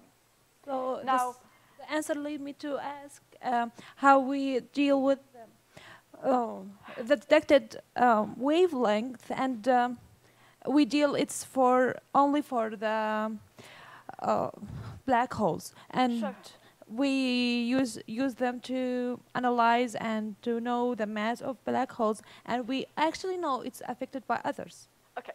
Now, the what we've detected is the gravitational radiation coming from a pretty violent event of two black holes merging. What we have not seen is the gravitational radiation from an arbitrary um, event, an arbitrary object. So, for example, in the center of our galaxy, we have Sagittarius A, a 10 to the 6 solar mass black hole. Orbiting around that black hole are various stars. We cannot see the gravitational radiation coming from that, that, those stars orbiting, although it's there. And that's because the frequency, the amplitude is too small. So the, the amplitude, you know, um, I didn't emphasize this, I'm sorry, I should have done. Um, somewhere or other, um, here we've got the, um, actually I've probably got it here, haven't I? So, we've got this coming, a massive factor of Newton's constant, the, frequency, and the chirp mass. Now, going as 1 over r, this, this has to be, you have to have a pretty massive event for us to detect it. And it's got to be at the right frequency for our detectors. So, you know, yes, in principle, um, if that gravitational radiation passed near, say, Sagittarius A, then you know there would be some distortion, but it would be so small that we couldn't detect it. In the same way that we don't detect any, we haven't, we haven't managed yet to detect the, any gravitational radiation from the um, stuff orbiting our black hole, or um, M87 either come to that. Now, if another black hole collided with our black hole, we would see it. I mean, they, uh, LIGO would see it, sorry. I don't know, have I answered your question? So a question from Gaza. Let me try to repeat it for everyone. Hello.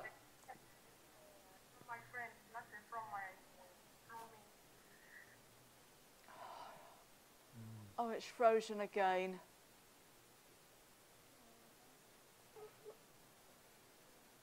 They're having a particularly bad time with the power today, I think.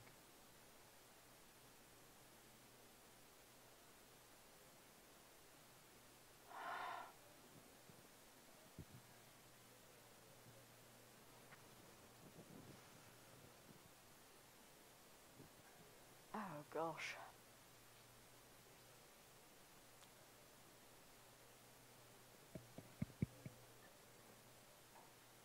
It must be so frustrating. Hello. Hello.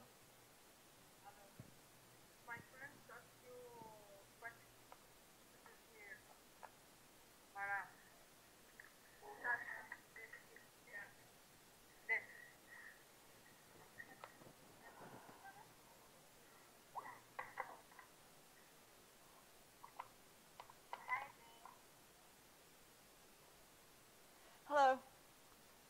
Hello. Let me say thank you for your incredible effort with us. Thank you. Um, I have three questions. So, shall I ask them to you? Yeah. Okay. Uh, when I asked uh, when I asked you uh, yesterday about the observing the white hole, which is warm hole, you said that there is no white hole observed till now. It is it is just an um, theoretical idea. But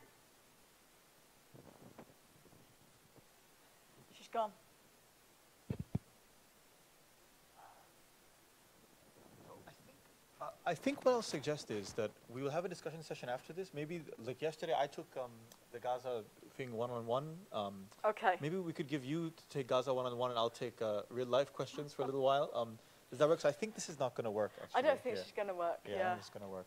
It's um. I mean, They told me that they have problems with the main computer today, so I think this is on someone's phone or something. So oh. Yeah. Okay. Um, are there any any last questions from from here? Um, okay. Uh, we've heard several from you, so if there's any other questions, then I'll give them priority. But if not, uh, I'm happy. We are happy. Um, okay. Here you go. Okay. Why we consider gravity as particles, not as a field?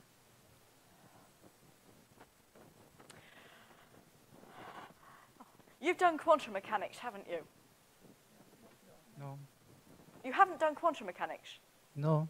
Eh, but uh, Okay. very simple. There's a wave-particle duality. Mhm. I can write down the wavelength of a particle of a certain mass. And for every field, I can assign a particle. Mhm. So you're happy with me talking of photons, Yeah. But you know a pho- photon is that this is this describes an electromagnetic wave. Mhm. So why not a graviton and a gravitational wave?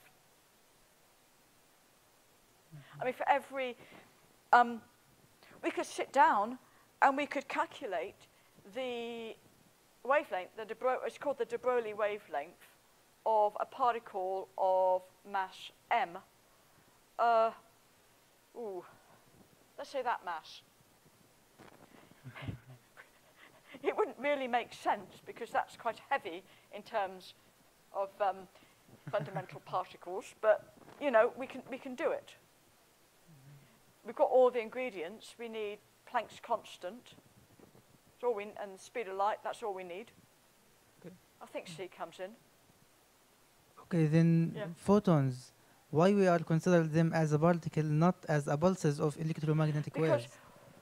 because when I quantize it, when I actually write, write down the quantum theory, I as- assign a field, it's a vector field, to the um, to electromagnetism, and to a vector field I would assign a particle. So particles, we can imagine them as uh, a quantum, a quanta of something, not as a ball of something. Yes, a Yeah. quanta. Mhm, It's got a wavelength. mhm. Okay, thank you. So, um, uh, in the interest of advertising, I'll say that tomorrow's lecture I will discuss this at a much more length, like the, the, the particle, what exactly it means to have the, the polarization of the, the graviton as a particle. So uh, hang on to the question. Yeah, that's all I'm saying. That's Okay. Give him a hard Yeah, time. exactly. Yes, you can you can harass right. me. You can harass me about it tomorrow. Uh, any last questions? Um, in that case, let's thank Ann once again for her wonderful lecture series. Okay, so let me tell you the schedule from now on. We'll take about a 10 minute break. And then uh, we will hang around outside. I think we'll have another informal discussion session like we did yesterday. So we'll hang around outside. You can ask us questions about anything you like, including the problems. I remind you all that your homework, uh, your homework is uh, is due in the evening today. So make sure you get it to us before the end of the school today. And um, that's all. And after the discussion session, lunch will appear, and we'll just smoothly segue into lunch. Okay. All right. Thank you, everybody.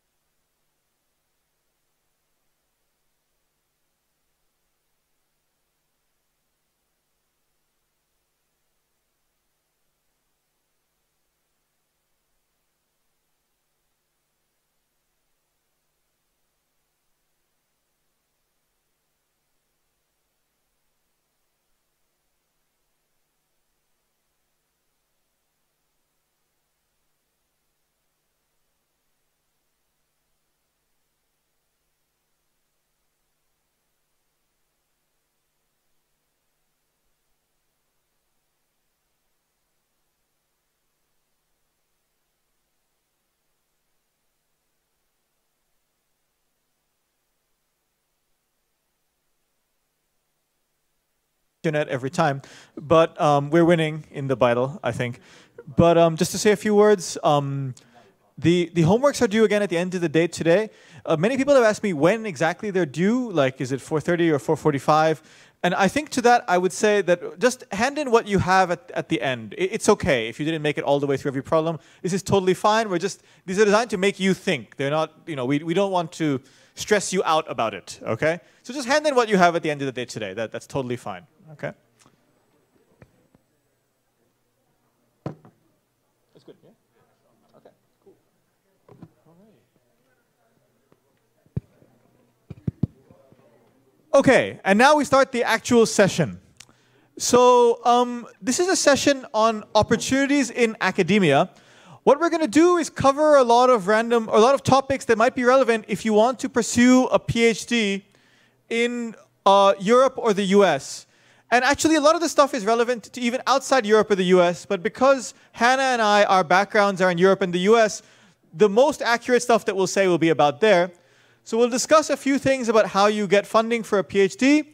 We'll discuss a few specific opportunities, and we will also discuss some practical details like writing a CV, writing a cover letter, and writing an academic email, a formal email. And then uh, after that, we'll take a short break. In that short break, um, we mentioned that if you, any of you have a CV or a cover letter you want us to look at, feel free to bring it to us, and we'll take a look at it and discuss it with you. Okay? Okay, so let's get started. The first topic is, uh, is me, and I'll be telling you what do I need to start a PhD in Europe or the US. This is some hopefully useful advice. Okay, so the first thing to understand about a PhD is that you do not need to bring your own funds for a PhD. Almost all European and North American PhD programs come with funding, so the challenge isn't finding funding so much as it is getting into the program. Okay? Okay? And often teaching is the way you will fund your PhD. Particularly in the US, most PhD programs last for quite a while. They last for four, five years, five, six years. And for a lot of that time, you will be a TA, you will grade problem sets, you'll help out in labs and things like that. And that is how you'll actually pay for your PhD. Okay? So, by the way, Hannah, if I say anything that really doesn't apply to a PhD in the UK, can you correct me? Because I- I'm going to speak mostly about my US experience. So. Yeah, normally in the UK you don't um, have to teach to earn your scholarship. It really depends. Some PhDs you do have to teach, and some you don't. Um, it really varies depending on the subject and the place that you go to. Um, but the other thing in the UK as well is that you don't have to sort of pay tax and stuff like that, whereas in Germany you do, I believe. So it really varies from country to country. But the main message is that to do a PhD, you can and probably should get money for it. Otherwise, don't do that PhD if you're going to have to pay for it yourself. Yeah, excellent. So here are a few practical details about applying. So um, obviously, to start a PhD program, you have to apply. A thing to emphasize is that it is really a long process. It takes quite a while to do the whole thing, so you should have this on your agenda. If you do want to not, if you want to start one immediately after your master's, um, you really need to start pretty much a year before you finish your master. Okay, maybe a year is a bit much, but you should keep this on your on your radar. Be aware of the deadlines well before you start thinking about the process. Okay, so if you're interested in it towards the end of your undergraduate, before even looking at the masters, take a look at the deadlines for the places you want to apply to. Okay. All right. So now, first PhDs in the U.S. Um, you might have questions about PhD programs. It is totally fine to send an email to professors and ask questions. Uh, on behalf of faculty, we're typically very happy to get emails from students who are interested. We don't always reply immediately, but we'll direct you to the right information. Uh, and the Nabil there means that I will talk about how to write an email shortly, and maybe you can refer back to that if you have any questions. Typically, you need a CV, a motivation letter, and uh, three, two to three recommendation letters. Okay, so we'll discuss more of the details on writing the CV and the motivation letter. The recommendation letters are actually extremely important because they really give a picture of you as a, as a candidate. You should get recommendation letters from people, ideally, who know you quite well, okay, who can say nice things about you and really say special things about you that set you apart from other applicants. So try to, you know, find people who will write you good recommendation letters that really set you apart. You don't want the generic recommendation letter. You will have to prove your English proficiency by taking a test. These are called the TOEFL or the IELTS. I think you probably know about these already. Um, and also in physics in the US, you need to take the physics GRE, the graduate record examination. This thing is actually kind of, um, okay, this depends on you, but when I took this, I found this test actually kind of hard. But I want to stress that it actually is also important because um, if you spend time on the GRE, it's, it's many, many very, very short questions. If you spend time studying for it, it's possible for anyone to improve their score dramatically. And a good score is really a way to set your application apart from other applications. So if you're serious about a PhD in the US, I encourage you to take this seriously, even though it's pretty boring. Okay, I'll warn you, studying for the GRE is pretty boring, but the goal isn't to learn interesting physics for it. The goal is just to do well on this test so your application looks good. Okay? And um, here is some contact information about where you can take the GRE in Ramallah. I confess, this is from a thing that Mario Martone made about three years ago. I'm not 100% certain this information is still correct, and I apologize for that, but it, it may be. Does anyone know where the GRE is in Ramallah now? Is it still good? Okay, thank you. So, the application deadline to start in October of 2020 is, or September of 2020, is between the middle of the December of 2019 and the middle of January 2020. So here, for example, is the thing from the Cornell Department of Physics. You can see right here, you have to get the application by December 15th, and this is to start in the fall of the next year. So this is what we mean, it takes a long time. So think about it well in advance, okay? Okay, next we turn to PhDs in the UK. So Hannah, please correct me if and when I say something wrong. This was not written by someone who knew about PhDs in the UK. Okay, again, it's fine to send an email to professors and ask questions. This stuff is pretty much the same.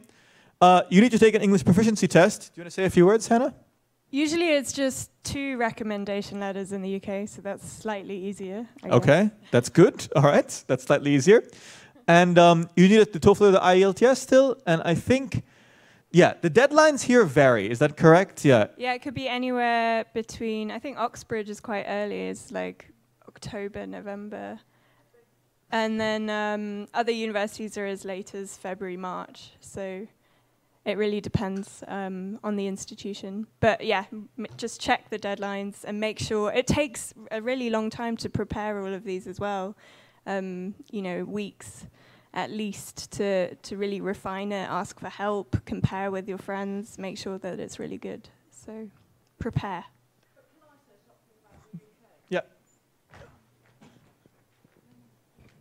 Um, most of the scholarships we have in the UK for doing PhDs are coming from so-called research councils, and it's hard for an overseas student to get one because when usually we're allowed to give them currently for UK and EU students, but not. I mean, there, there are some opportunities for students from outside the EU, but they are more limited. And for instance, in my own university, Cambridge, that we have some private money called the Cambridge Overseas Trust, which you can apply for. Um, I don't know how many scholarships they give, and there's also a Gates scholarship, but there are funding. I'm afraid the actual UK funding for PhDs is more limited for people from outside the EU. And uh, I'll, I'll second that. It's exactly the same situation in my university in the UK. It's, um, it's quite difficult, so this is just something to be aware of. Okay, um, so moving on.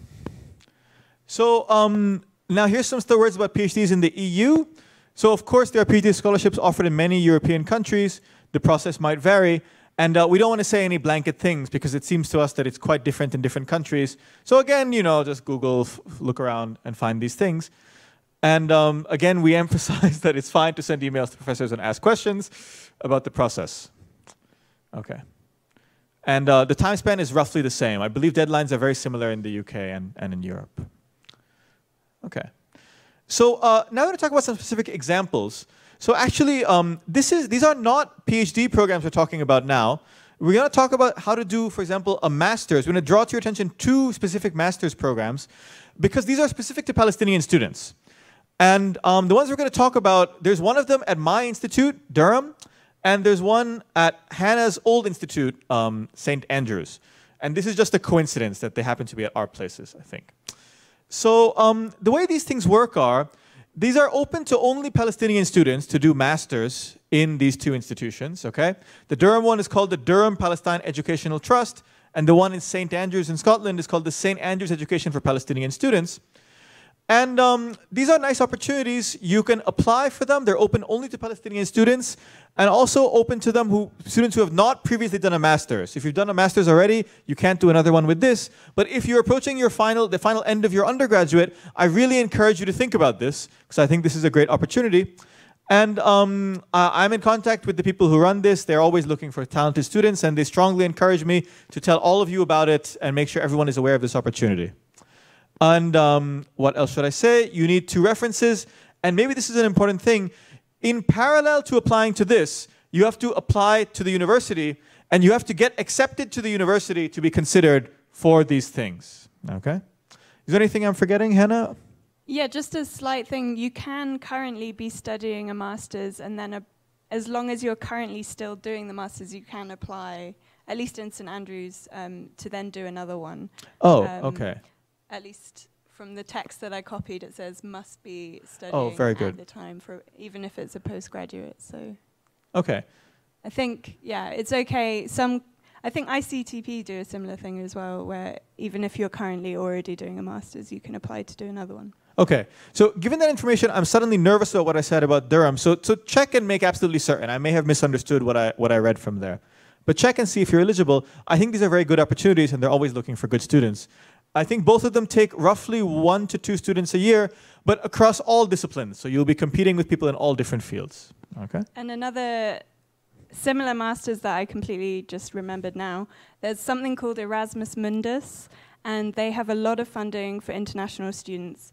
So um, you would be competing against people from other countries, but they have a lot of funding and it's for a specific course that you're interested in, and they have lots of ones, different ones that are related to specific physics topics, and you get all of the funding um, included with that. So this is obviously a lot of information. From Scientists for Palestine, we try to collect all of this on our website. So if you go to our website, we have a list of resources for funding, which you can take a look at. It's, it's quite long now, so there's lots of different opportunities like this. You can scroll through there. And also, if you are aware of something that is not on the list, tell us and we will add it to the list. So we're continuously adding to this list of resources. Okay.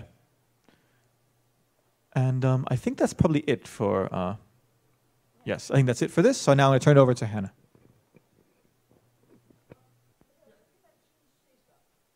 Uh, I'm not aware of the program at SISSA, actually. Could you please um, tell us about it? Um, I mean, my understanding is that ICTP and its co-institute SISSA do have PhD opportunities, masters and PhD opportunities. So look at SISSA, S-I-S-S-A, and ICTP, because ICTP is specifically from students, from students and young researchers from, um, well, who don't have the opportunities in their home country. I'm tempted to say developing countries, but that sounds a bit rude. um, but you know, not not countries like um, the UK. It's specifically for uh, parts of Asia, Africa, and countries where the opportunities are not there. So it's ICTP and SISSA. Both in Italy. It's a lovely country to live in. Okay. I don't really know much about SISSA, but you know.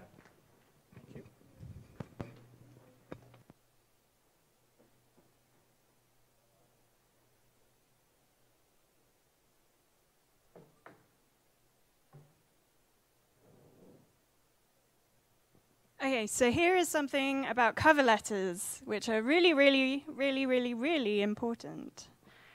Um, does everyone know what a cover letter is? No one knows what a cover letter is. Okay, so when you apply for something, um, you normally need a CV, you need your letters of recommendation, but then you also need to sort of describe a bit about a page why you're actually interested in the position that you're applying for, um, and a bit about you and your background.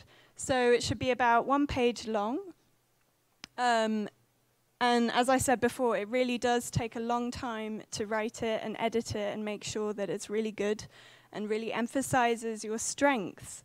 Um, and also, it should really convey why um, you're interested in applying for the particular, say, course at that institution. Why there? Why this country? Um, how does that relate to you? And make sure that you highlight how it relates to them as well. Um, and also, yeah, just you want to show that you're really enthusiastic for what you're applying for. Maybe you want to say, in particular, name some of the, the professors at the institution and how you're really excited about the work that they're doing. Um, and really just kind of shine, and this is a really nice opportunity to shine. Um, so you would start by saying, Dear Professor, or Dear Dr. So and so. Or if you don't know who it is, you can just say, Dear members of the selection committee. And then you want to go on and say explicitly, I'm applying for this role. Um, I found out about it either just via someone in particular from here, or maybe you found out about it from um, this school itself. And if you can mention anyone that maybe knows someone at that institution, that can also really help as well. Um, describe a bit about what you're currently doing. You're doing an undergrad, you're doing a master's. Um, what actually are you researching?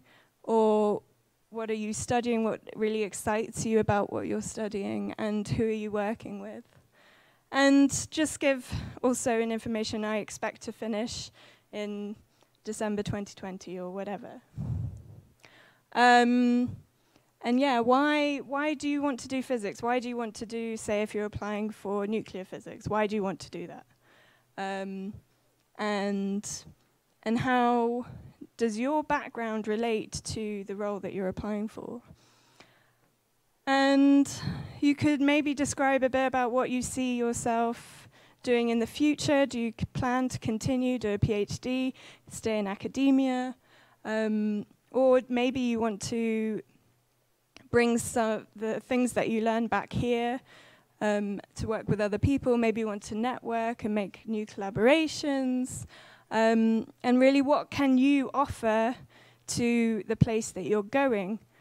So that could, for example, be like, say you've done a lot of outreach, you've been involved with NOVA, for example, or maybe another organization, maybe you've even helped to set it up. Um, and things like that are really valuable to mention. And that suggests that you would really offer a lot to the place that you're going as well. And just end by, for example, saying you're really happy to discuss things in further detail and thank them for their time and consideration. Um, and just a few other points. This is really not a CV. Don't just list what you've already listed in your CV and talk about that. This is something very different. Um, and other things you might want to say is, yeah, you're from Palestine. Maybe they don't know the situation here. Explain that you don't have access to resources like other people do, um, and that it's really important for you to may maybe get new skills and bring them back here and create new links with other countries and other partners. Um, and also, I would say, be very sincere. Um, don't say that you're the next Einstein and you're the best student that has ever existed in the universe. Um, be really realistic. Yes, okay, if you've, say, won an award saying that you're the best um, student of 2018 and you got the best grades, then that's great. Um, but don't over exaggerate because it comes across slightly strange um, when you see these written down. Um, and also, yeah, ask for help. The best people, um, well, the best applications are the ones that have always been kind of edited and checked by other people. So make sure you really do that. Anything else? Okay.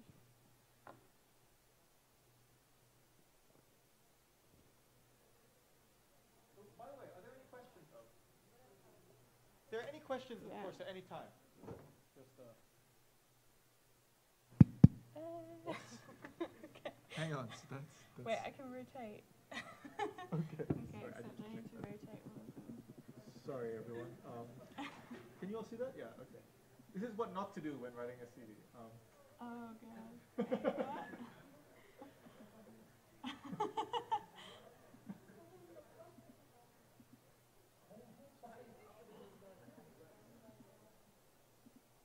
I don't know why I can't. I'm sorry. This is my fault. This is the trick that was that was possible. Straight, I don't know what's going on. This is keynote for you. Oh no. Can you ask like how many people are actually considering doing So while while we watch these things rotate, um, can, how many people here are actually considering uh, doing a PhD? Um, okay, excellent. We're very happy to hear that. Okay, very good. Yeah, yeah. Please, Ann, tell us what not to do while we continue rotating.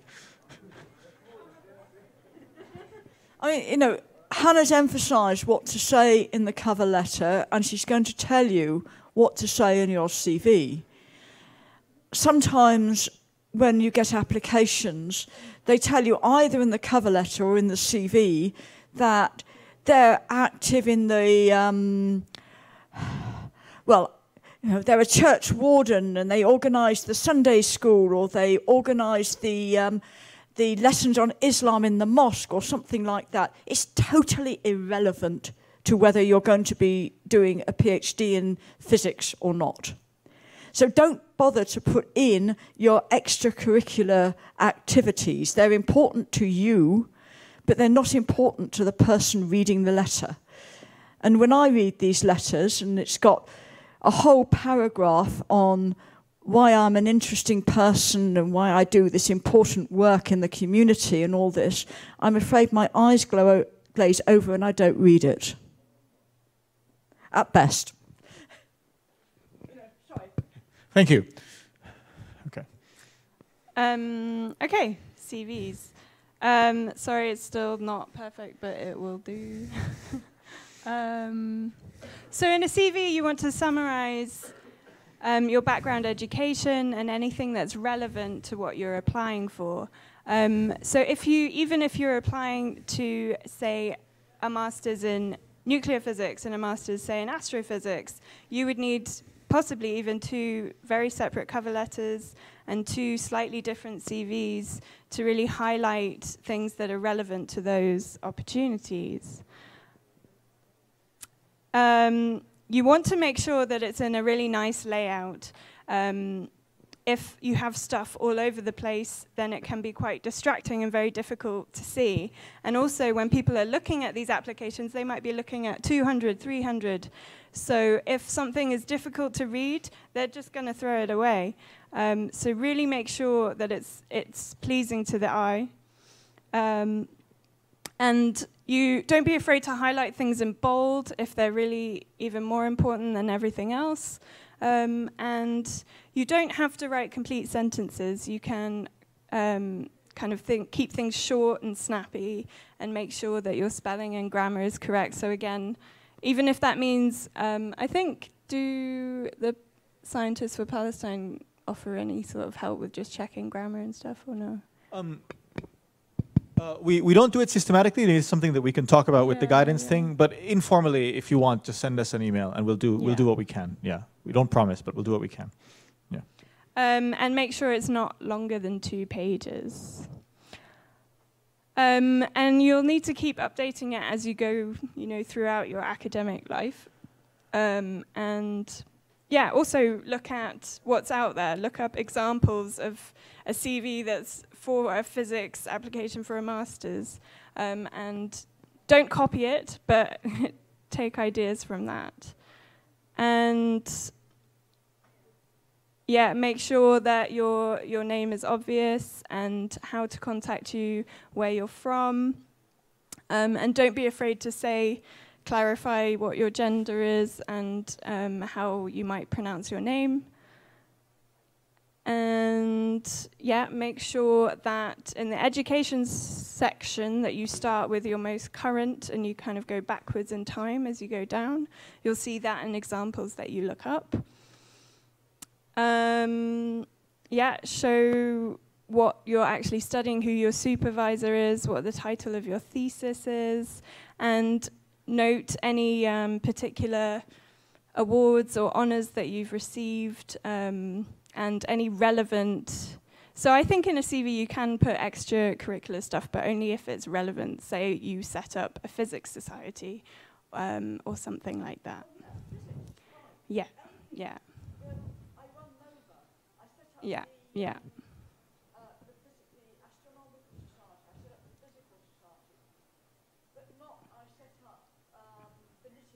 Yeah, yeah.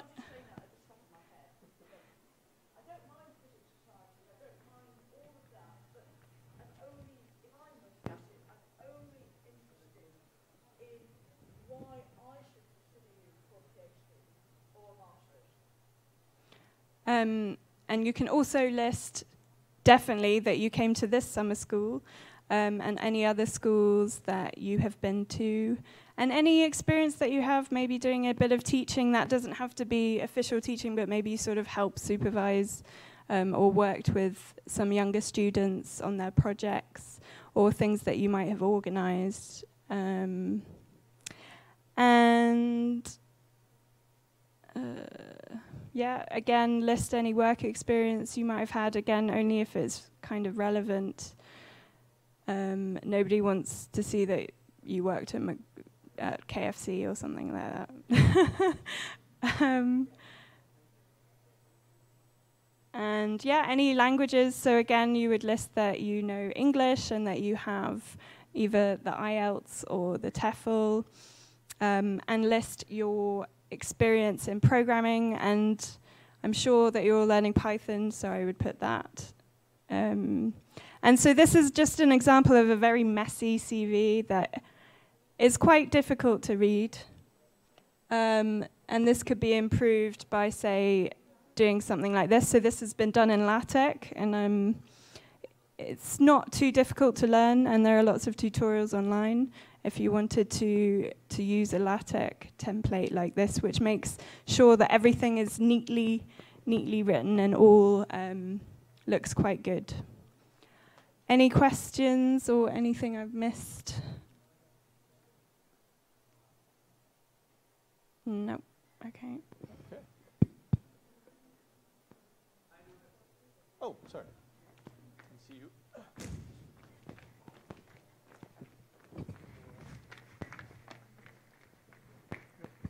Thanks. I just wanted to say, as like someone from Germany, I know that many things of these do not apply apply to German stuff, for example. So I think the there are many specifics for each single country, especially in Europe. It varies hugely. Like a, a CV for a German university is different from a CV to French university. So if you apply, make sure this can all be found on the internet, so make sure you do research on this. And for example, I know many professors, they go crazy over extracurricular activities. They want you to like you should write as many of them as you want, as you, as you can, and uh, in Germany. And uh, also other things they vary. So uh, it might even vary from uni to uni. Yeah, yeah, this is true. Um, if you can write to, if you know someone who's actually from that country and knows the system, write to them and ask for help. Um, also, I just noticed that uh, one of the slides you were talking about grammars, uh, and there's something that I wish that I had known long time ago. There's like a uh, Google Chrome or even anything extension that you can download in your laptop, and it's called Grammarly, and it is so so good. Like it is really good. It's like it's based on really good machine learning algorithms, and it fixes your grammars when you're writing uh, something in Google, in Google Docs or in emails or anything. There's also one more thing that I. Um, uh, for CV, it is is also really really good and important. I think to have your CV in LinkedIn.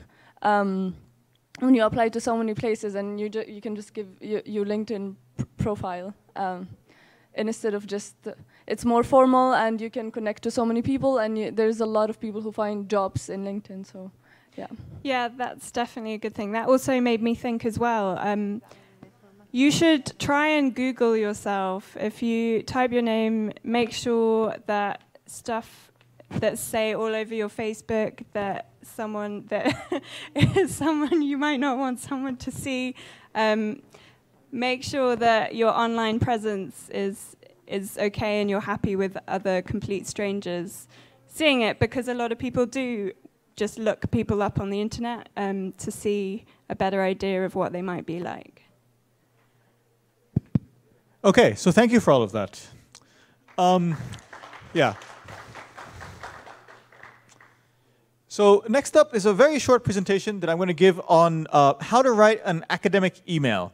So this might seem very technical, and I think many of you already know the things I'm going to say, but I think it's helpful to, to remind everybody how this works. So the, the basic thing here is when you're writing an email to a professor or something like that, they, uh, they don't know anything about you at all. So the full information that you're going to give them is sort of in this email, for example. So what that means is they will, in their mind, form an image of you based on this email, completely on this email. So that's why you want to make sure that emails like this are actually pretty nicely written so that the image that they form of you in their mind is, is accurate and complementary. Okay?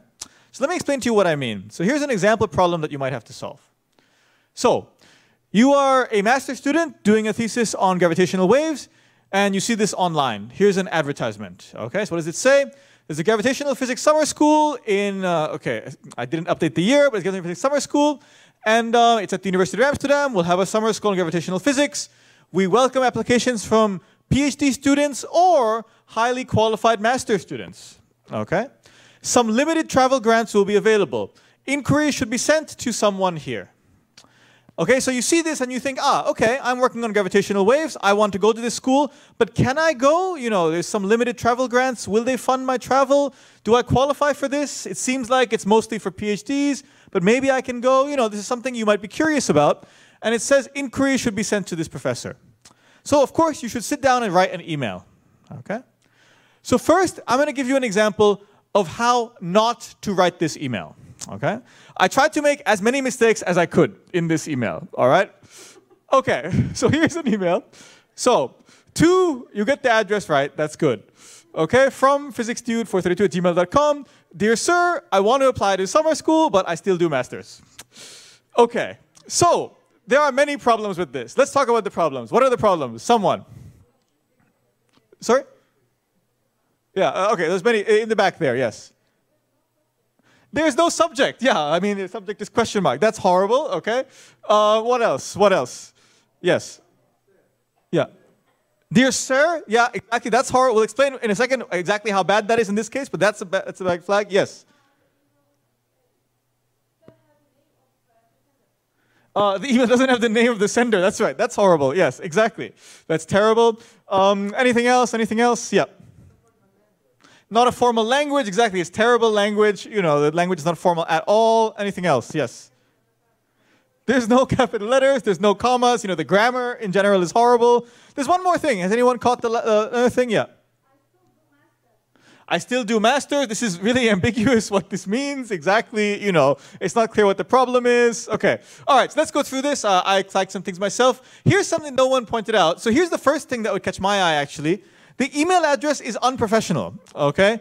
So you know, you you might or might not be a physics dude, but it shouldn't be clear from your email. So I think you should make an email address. The best is to have a, a .edu email address. If you can't, write a, a boring one like, you know, Nabil Iqbal 14 at gmail.com. Yes.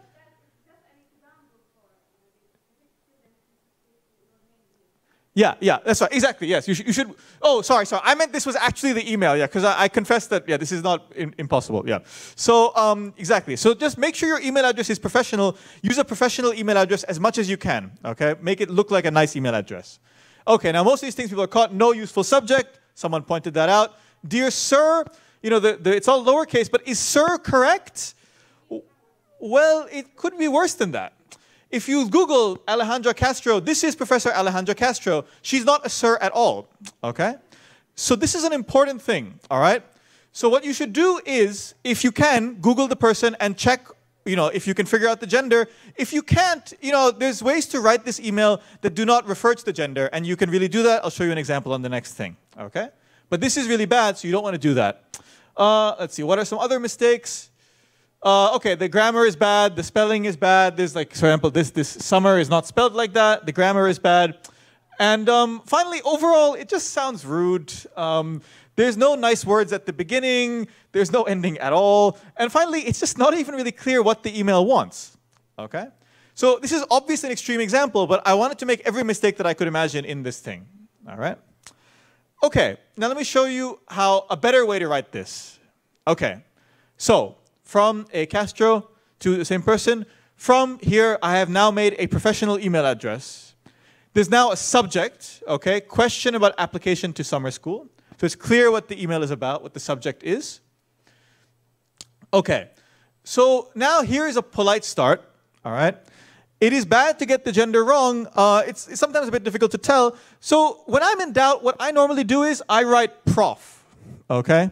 And this is sort of good for many different things because um, like uh, sometimes it's not clear if someone is really a professor, maybe they're just a doctor and not a professor yet and different countries have different conventions for this. But I feel that professor is a, is a fine thing to write.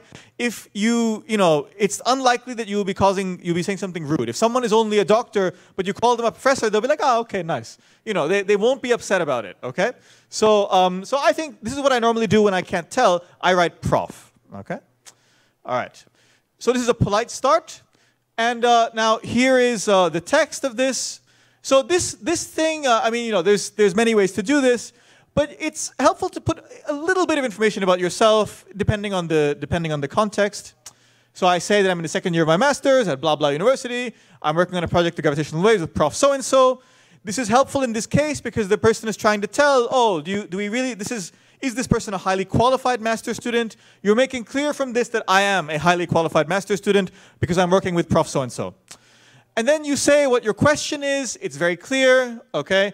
There's good grammar and good spelling. The last time I gave this talk, I said that spelling, you see, there is no excuse for spelling mistakes because there is a spell check, okay? There should be no spelling mistakes in any email ever. I used to say that grammar is difficult, but apparently machine learning has solved this problem. And I've never used Grammarly, but um, it sounds like if it gets the job done, then that's good. You should pass it through something like that, or just pass it through someone, you know, show it to your friends and make sure they agree with your grammar. And finally, um, there is a closing thing. You know, I say this, this doesn't really have any information, but it's just polite. And finally, here's a closing thing. Best regards, blah, blah, you know, university, you put your name, you can put this, you can put your phone number if you want. There is really very little chance anyone will call you on your phone number, but it shows that you're serious about it if you put your phone number. You can think about doing that. None of these things are, are rigid, but they're just suggestions, okay? And you give lots of info about yourself. Okay, so here's the basic thing. The base, let me just recap. The point is that the person you're writing to has no information about you. They will form an opinion of you based on the email, so everything counts. And um, use good grammar, use good capitalization, use good spelling, use spell check, pass it through things, and be polite. Spend some time on this if you're not sure about this. Just spend a little bit of time and make sure you do all these things. And finally, make sure your question or your request is clear. Okay? This is all mostly common sense, but I just want to encourage everyone to think about it. Okay, thank you.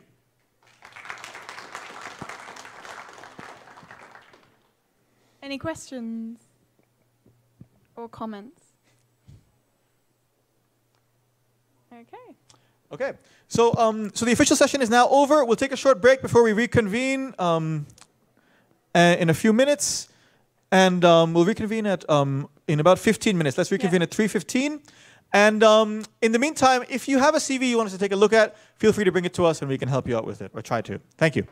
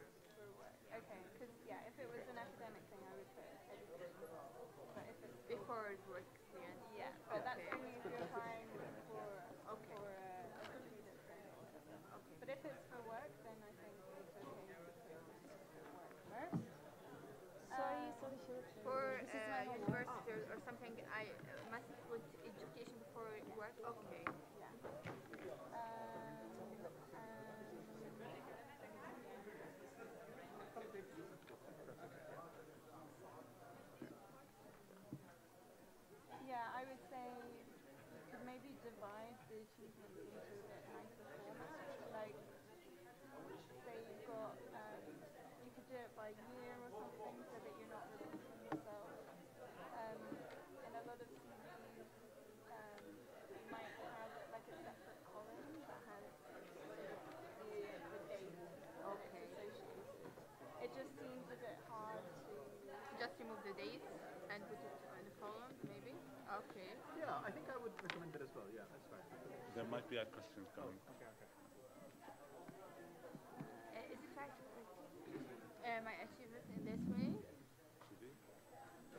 كويس example. إبراهيم إلى حد ما منيح Yeah. هيك أنا بشوفه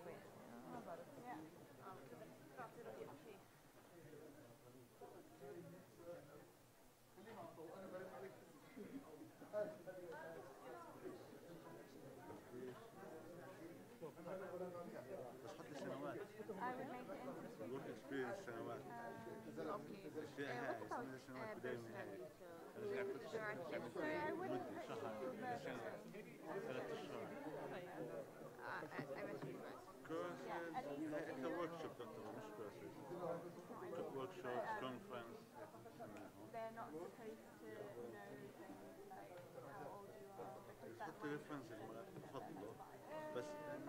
but this, this varies a lot between country and right? Yeah. So I don't know. Yeah. This. Yeah. Yeah. It depends. This, this depends. So is it normal in, if it normal to put your birthday? If it's normal, then you should probably go with that then. Yeah. This, this varies in every country actually.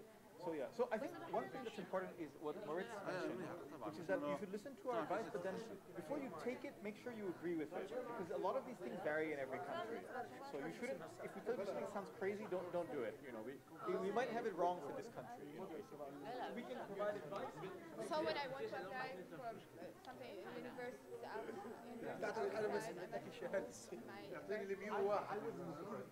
Okay, but what about my nationality? I think that you should. Okay, is it the right place for it? Um, Uh, after uh, my uh, achievement uh, here before university. yeah, I would maybe put it at the top, Um, there? so like under your name or something. Um, I would say computer skills, you don't need to say Yeah, that's right. So you probably have much more uh, powerful computer skills than this, right? Because I mentioned here that you took a C++ course. Yeah. Yeah. So I don't know that you need to say internet or even Microsoft Office. I think I would write under computer skills. I would write uh, programming in C++, Python. Okay. I think I think we're, would you agree that that includes information? It assumes that you know Microsoft Office. Okay. That, that's what I would do. Okay. And um, and maybe you talked about. So how do you feel about putting this at the beginning? Would you put that at the end or? Um, okay.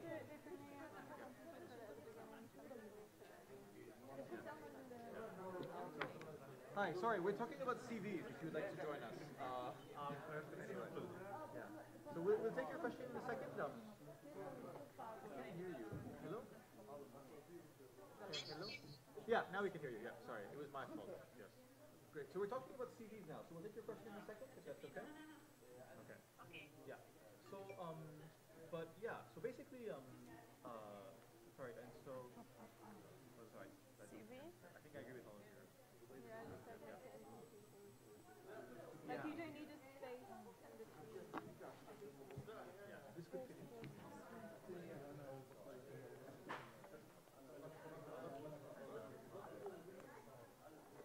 Yeah. And I think for work it makes sense. for work. Yeah. Oh, sorry, one more thing. It's common, I think, to do things in reverse chronological order. So you put the most recent thing first, and then you Alfredo. See what people don't look here. Uh, The ones that I see normally clear. My, my own CV has everything course. recorded. The reason is that when someone is in a hurry in reading it, they want to see the things that you've done most recently, Oh. not you know stuff that you did when you were 10 years old. So my, you know, mine goes all the way back that I won when I was like undergraduate. It doesn't matter. You know. Uh, is it right? Yeah, this is right. This And then? Yeah, this is also correct. because These are all going back in time. However, your achievements are, are going forward in time, right? Starting in 2011. So I would say I would say that you put the Yeah, would you say that? Okay. But you know, again, if this thing sounds crazy, then, then don't do it. Because it- These things vary from.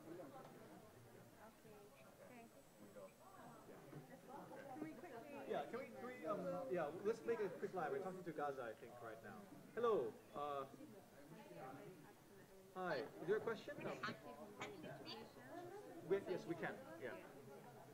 I was yesterday and I asked you a couple, of questions about applying for America. Yes, that's right. Yeah, yeah, that's right. That's right. Yeah. Okay. Uh, so, yeah, I, I'm in the phase of choosing the university and I'm kind of confused. I'm, I'm, not, I'm not sure phase of what should I choose. Like, uh, I, and I'm scared, like, uh, and checking, uh, and thinking about like, uh, prestigious universities like uh, MIT and, uh, and Harvard and stuff like these. I'm not sure. I don't have that strong GPA. Right, right, right. Yeah. So, I, I, based on what shall I pick the university, or at least make shortlist the universities? Right. So I think this is this is difficult. There's no really good way to do it. I, I think what what most people do is they apply for a range. So apply for maybe like find find one that you think you that's maybe a little bit difficult to get into. Like find a, one or two top ones, then apply to one or two middle ones, and then apply to one or two ones that are very much easier to get into. And um, you can usually figure out how these things work by talking to people. Like, for example, Harvard is very hard to get into. So if you if you don't have a good GPA, think if you have a good chance of getting into Harvard. And if you really think that you don't, then then either don't do it or maybe only apply to, to Harvard and not to also MIT and Princeton and Caltech. Maybe pick one of those that you'll reach for. And then I think it's good to just have a range. Have a few ones in the middle that are medium, and have a few that are that are easier to get into. So that's that's what I did when I applied. I applied to a few really hard ones, a few medium ones, and a few really easy ones. And I think that was the right thing to do. So. In America, there's a problem that it's just very expensive as well. Every application. I don't know how much it costs now. How much does an application cost now? Like hundred dollars or? Yeah, I, I participated in a program that would cover the tuition Okay. for applying to. Okay, okay. Uh, or three years. Okay, that's good. Okay. Yeah, that's why I'm. Yeah, yeah, I see. I'm not based on what to shortlist the, the universities that I'm applying for. Yeah, yeah. Uh, another is they, uh, they thought that uh, personal statement for America is, uh, is different from that uh, to, the, to the EU universities. They look for a creative kind of writing. And I'm not sure how to be creative uh, talking about the, uh, like, I, I don't know, because I, I, I tried to apply before, so I'm experienced more with the EU ki- uh, kind of writing, not the American creative writing. So? Um, so I, I think it's a little bit different in undergraduate applications and graduate applications. In undergraduate applications, they really care about that you're not boring and that you're cool and interesting. For graduate applications, I'm not sure it's as important. I mean, it's, it's always good to not be boring. I think you should always not be boring in, in life. But I don't know that there's any really good way to do this.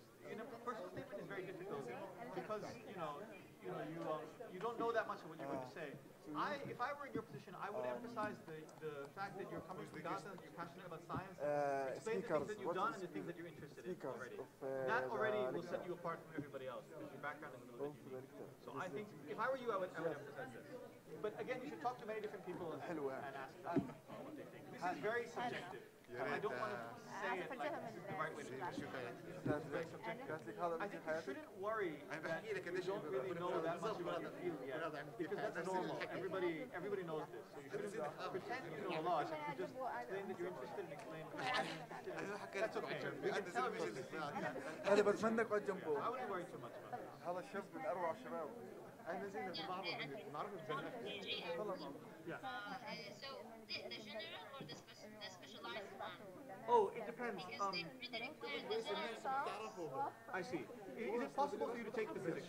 Uh, physics well. Is it, is it possible?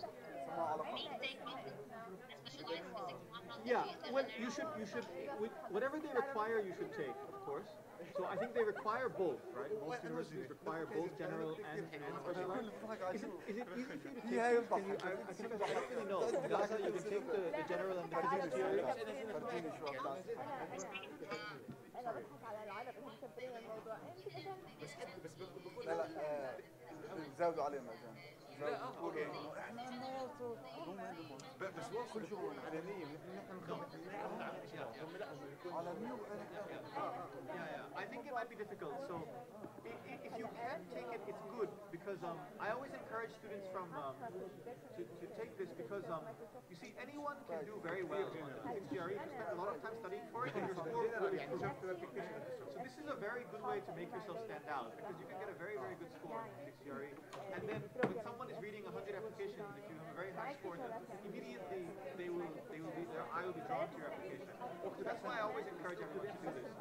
But if you can't do it, then that's okay. You know, but you should really explain in your application why that you can't do it. It's just it's just not possible for anyone to take the physics theory, as far as I understand. So you should, you should do that. In the general one, in physics, the English part is not that important because the English theory is. If you get a good grade on it, that's great. But if you get a bad grade on it, it doesn't matter really because most most yeah. English yeah, yeah, it's not, it's not relevant. Yeah, it's not relevant. You should get a very good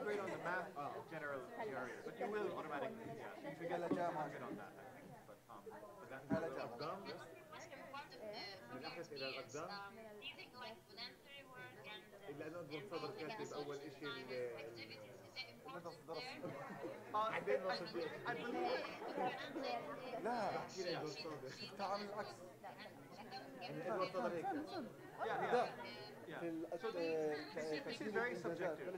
So I think on the CV you can list it, for sure. On the CV you can list it. And it's up to you whether or not to list it on other places, like personal.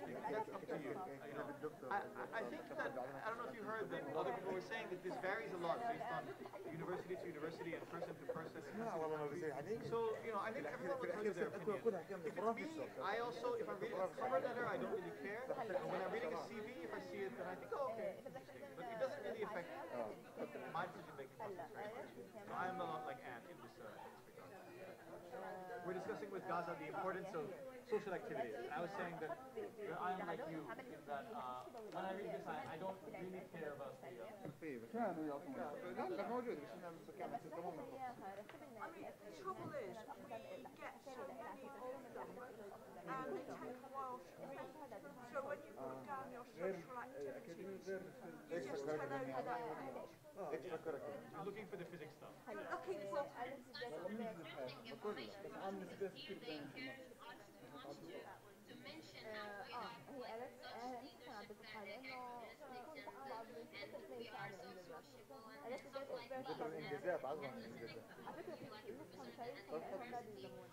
اذا شيء له علاقة في الدك- في التجمع بحطه اه مثلا مثلا معرفه بتاعت اولاد احكي لك I, I don't know. I احكي mean, لك what's first aid important is your English. صار مسار You know, your, that your, um, that you can speak هي هاي English, perhaps بالمية you have a ابدا qualification in that, اه that's بجوز important. اساليها Because it means that you can understand lectures, you can talk to people, you can write papers. Um, that's important. Um, don't think it's important. It's actually you know, how well you're doing in your exams. And when you put your grades down, I don't know how you are graded. Um, if you say you've got 90%, that's fine. But if you just say, I have 90 in such and such, I would say, I wonder what that's so no harm saying 90% or 90 out of, you know, that sort of thing. Because we don't know the system and uh, yeah, I mean, sometimes people say I scored something. I scored a, two in this and a one in that. One point five. I have no idea what this is. So I want to know what it means.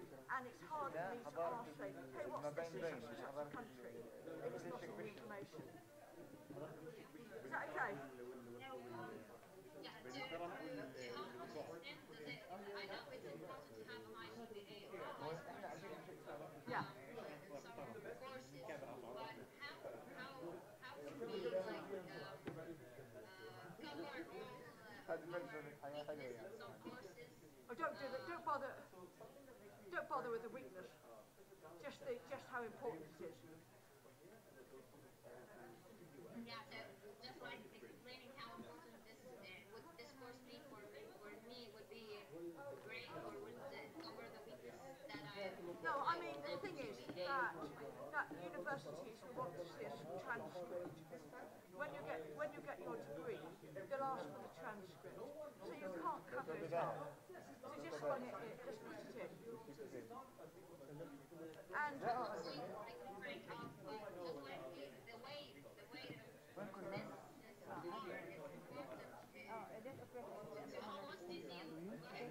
Well, the thing is that I mean, score is important because you take for whatever it is you're applying for. You, there's a certain, um, it was a master's. Students need to do to get a certain um, so, say for master's in the UK would be a one and a two but not a three. And you know we just need to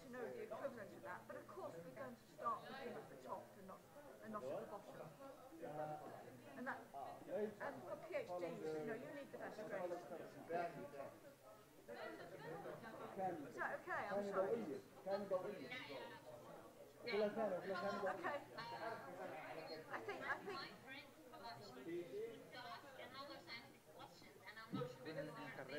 الحديدية كما No, really, we're about to stop the next session. I'm sorry. Okay. اخر اسمع عند الحضاره صعب شوي أنا بعرف من بس تعال I'm sorry. I'll, I'll find you. Ah. Um, I think I think the bill will be on soon. But I mean, I think the next session will be starting. يعني آه بس شو المشكلة عندهم؟ مش عندهم لحمه مش عندهم طول روح دائما Are there other people who need to speak on specifically on preparing the applications? منطلق منطلق انه يدخل الموقع الدراسي تاعهم آه عندهم برمجه آه عندهم برمجه البرمجه عند منطقتهم الناس الضوء فانت عمليا انت اي خليج تجيبهم على If, you're sending an email to a specific professor, then yes, because you know you need to be interested in that professor's subject. I mean, Nabil gave an example of how to write for summer school.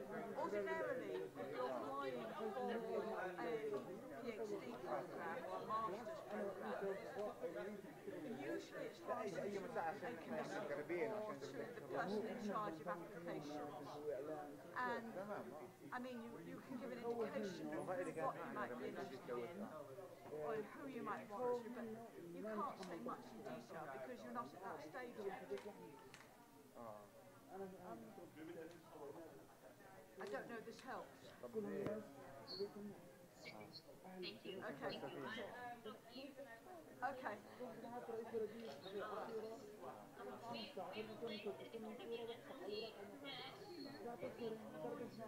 Yeah, I mean, I think we're starting the live feed soon. Um, I don't quite know when. And I wa- Okay.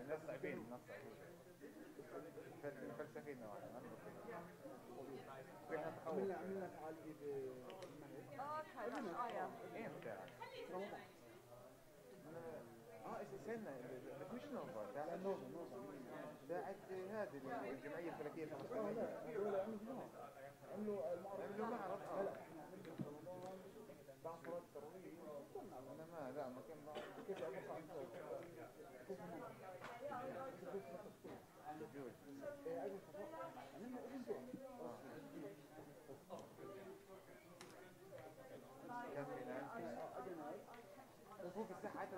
يصلوا يعني بيجوا الناس بيجوا في قبائل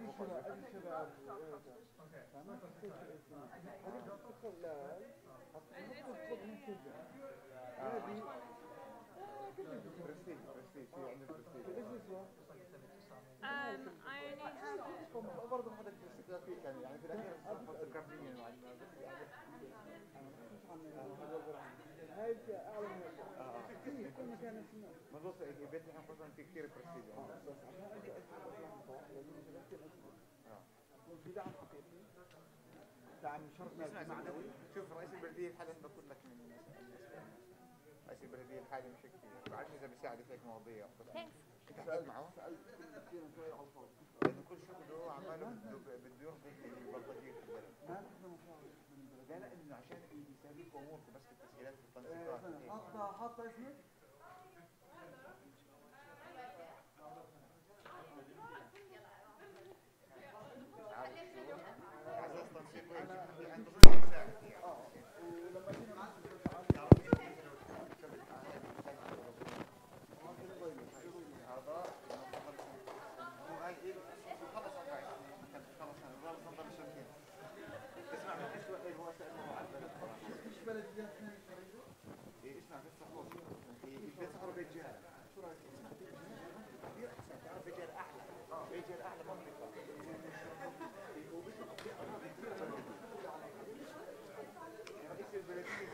This is like the least prepared talk I've ever done. Great, right? We're just slowly degenerating. You know? I hope I don't kind of waffle.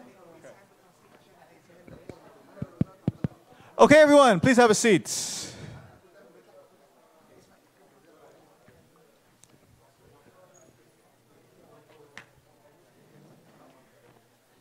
You hear me? Is the mic, is this okay? Okay, everyone, for the last talk of the day, we're very happy to have Hannah telling us about star clusters in the local universe. Okay, so I'm just going to talk a bit about the research that I've been doing for my PhD. Um, I am kind of in my final year now, so I've done about two and a half years and I have one year left. Um, and actually, in the first year of my PhD, I was doing something quite different. I was doing radio astronomy, where I was looking at um, kind of star formation regions. And I, I decided that radio astronomy wasn't really for me, um, and I prepared, preferred doing astronomy in the optical. Um, so after my first year, I actually switched and, and completely changed topics. So that's also a possibility depending on, on where you go. If, say, you didn't get on with your supervisor or you just really didn't enjoy what you were doing, but you decide you felt that you enjoyed something else, there are possibilities to switch what you're doing, and that and that is definitely possible. And I know other people that have done done similar things as well. So stars and star clusters. Can we turn the lights off? Just because otherwise you can't see the pretty pictures. So uh, star clusters can look very, very different. You have quite young star clusters where there are very few stars um, and they are maybe only a few sort of hundred thousand years old. Whereas you can have very old and very ancient star clusters. They're called globular clusters and they're formed actually almost um, in the very early universe. They're almost as old as the universe itself in the grand scheme of things. Um, and you might see clusters that are just forming out of the sort of natal cloud of dust and gas um, that all the stars are formed out from.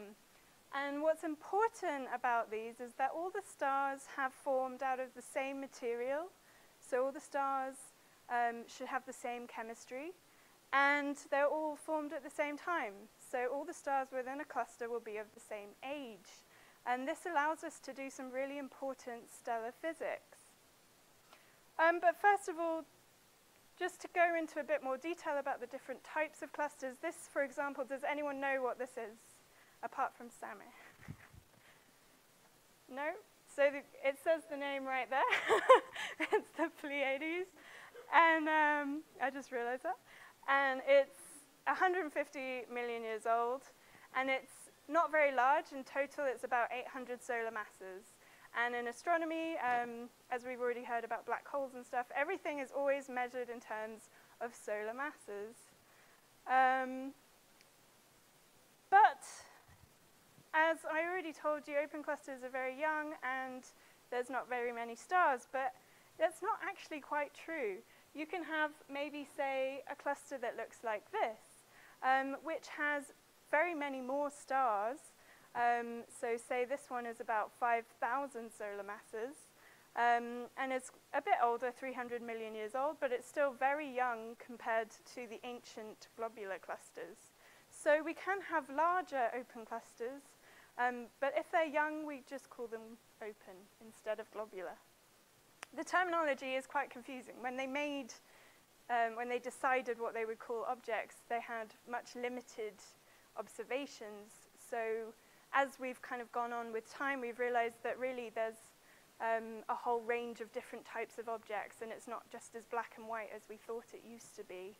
Um, so here um, we've got like one of the biggest globular clusters in the Milky Way, um, 47 tuck and it's very large. So before we had about, say, a thousand solar masses, now we're talking 10 to the 5 solar masses.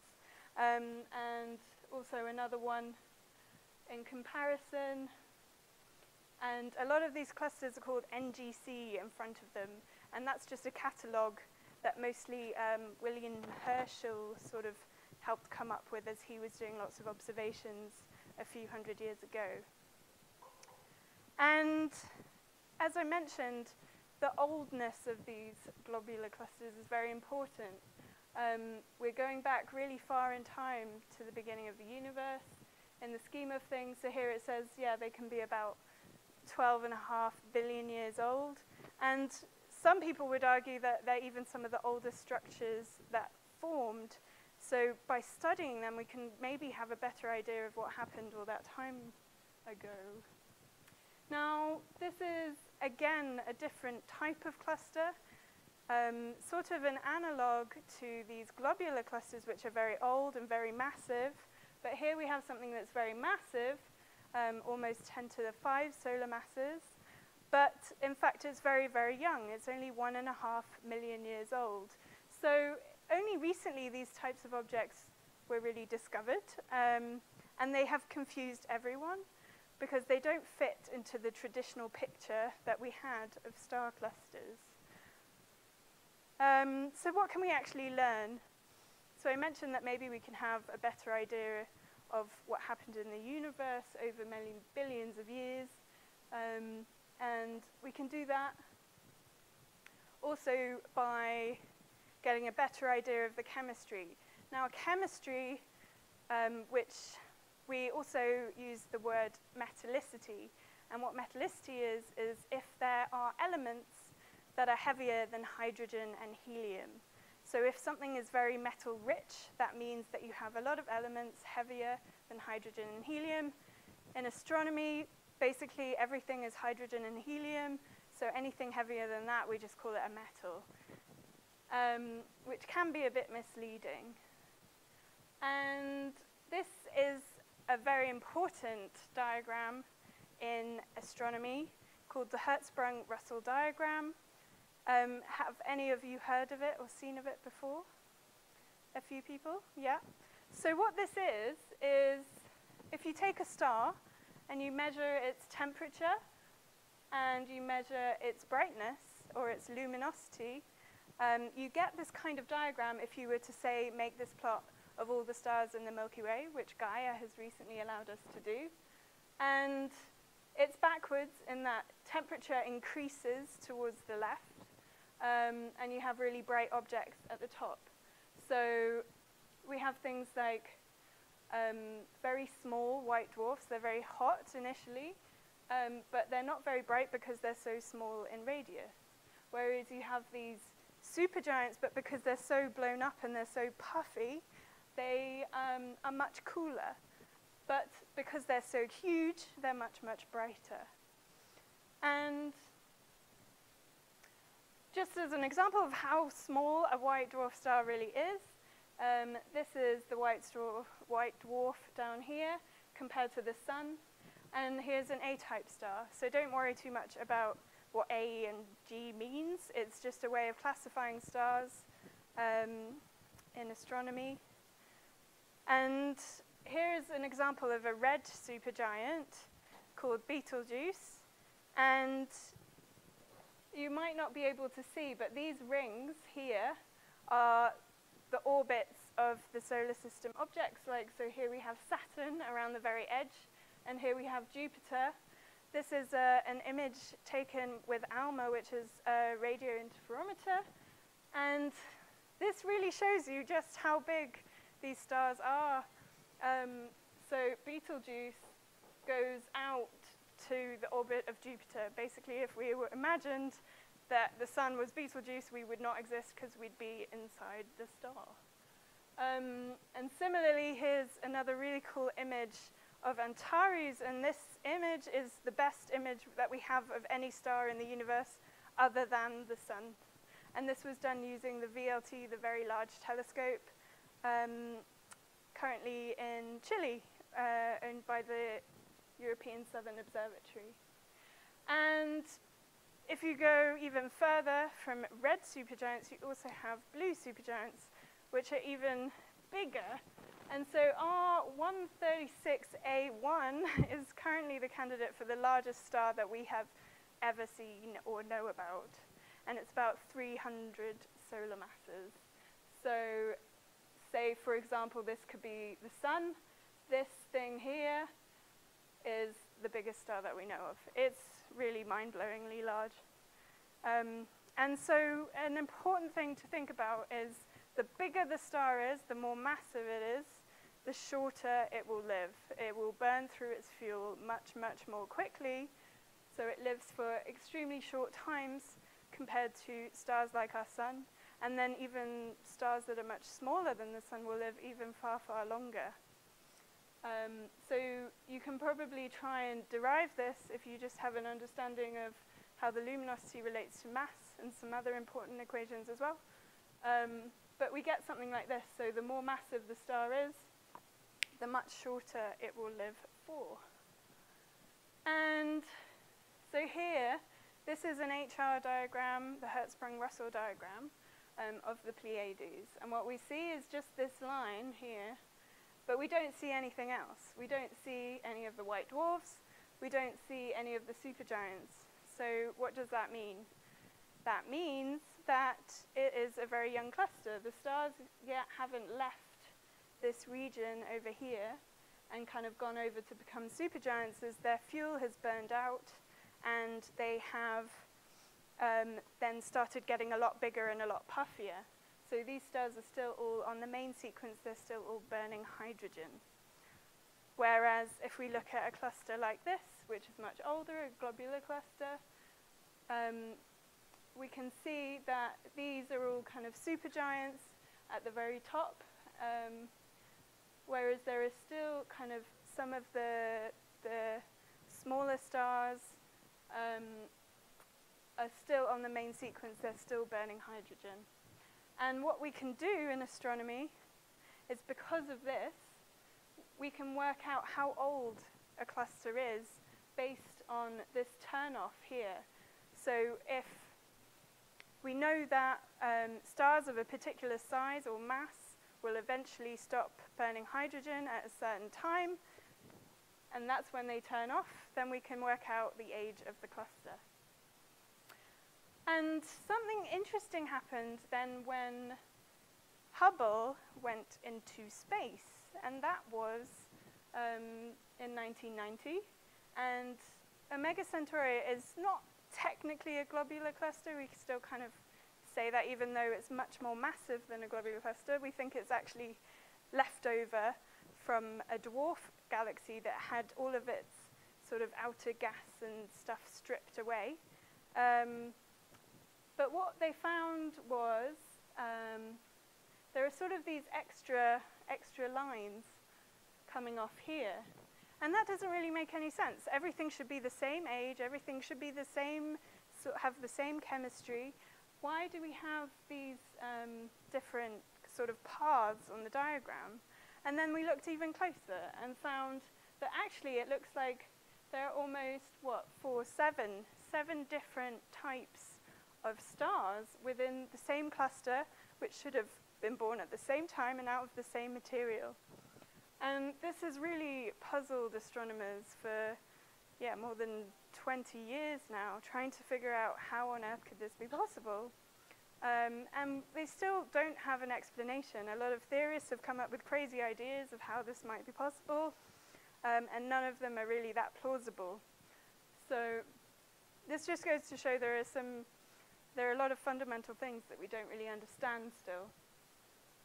And this just emphasizes, um, I just thought this is quite a nice plot of, of the periodic table, but it demonstrates where all of the elements actually came from. So hydrogen and helium mostly come from the Big Bang, whereas everything else has mostly been synthesized either um, from supernova or merging neutron stars, um, exploding white dwarfs. There are lots of different methods from how to create these heavier elements other than hydrogen and helium. And understanding how this relates to the clusters and the sort of different amounts that we have of each element is really important. And astronomers then went to look at other clusters. Could they also find Similarly, multiple populations, so multiple different sort of strands within the HR diagram. And it became apparent that everything older than two gigayears, so that's two billion years, um, did have these multiple populations, whereas all of the clusters that were younger than two gigayears do not. So there seems to be something happening at two gigayears where, star, where the clusters suddenly start having different types of stars um, as compared to before, and still trying to figure out why that is. Um, another thing that we can see in star clusters is looking at the dynamics and how that maybe perhaps relates to stellar evolution. So going back to globular clusters, this is what my research is actually on. Um, and we define a globular cluster as being a spherical collection of stars. You have many, many stars, so gravity makes it uh, spherical. And they will also orbit around a galaxy, um, whether it's a Milky Way or pretty much every other galaxy so far that we've seen also has clusters orbiting around it. And as you go towards the center of the cluster, they usually get more and more dense. And these clusters are very useful. They're ideal laboratories for doing kinematical studies um, because they're so simple. They're made out of the same population of stars and they formed out of the same gas. So we don't have too many sort of different things going on. Um, and this means that we can have a better understanding of, say, the original population of stars and um, how they've evolved over billions of years. And so what I've been doing for my research is actually looking in particular in the very centers of the, of the clusters. And this is only really recently being able to be done because um, I will, well, I'll explain that in a bit. Um, so here's an example of a cluster. And if you want to know the radial velocity of any star within that cluster, what do you do? You put a slit on it to get the spectra. And now you have to make sure that there are no other objects in that slit that are going to contaminate your spectra. But that's going to be a problem, right? If you put the slit in the center here, you've got many, many stars. How are you going to get a spectra of just one star? so you're limited to really the stars only in the outer edges. And it's a very slow and long process. You're just doing one at a time, one star, one by one. But then we have a thing called multi-object spectroscopy. And maybe you can do a few stars in one go. But still, you're limited to the outer regions of the cluster. But now we have a thing called integral field units. And that basically allows us to put several sort of, sort of fibers right in the center. And we can get information from each one of these, say, hexagons. They work differently in different ways depending on which instrument it is but this is a general picture of how that works. So I can make an observation and get spectra from every one of those little hexagons, um, which is much more information than previously before. And this is an example of one of those integral field units, IFUs. This is MUSE, um, which is the best IFU out there right now, probably. Um, and it's, yeah, it's a crazy machine that really does some exceptional work and allows us to really study things in great detail than we've never been able to, be, to do before.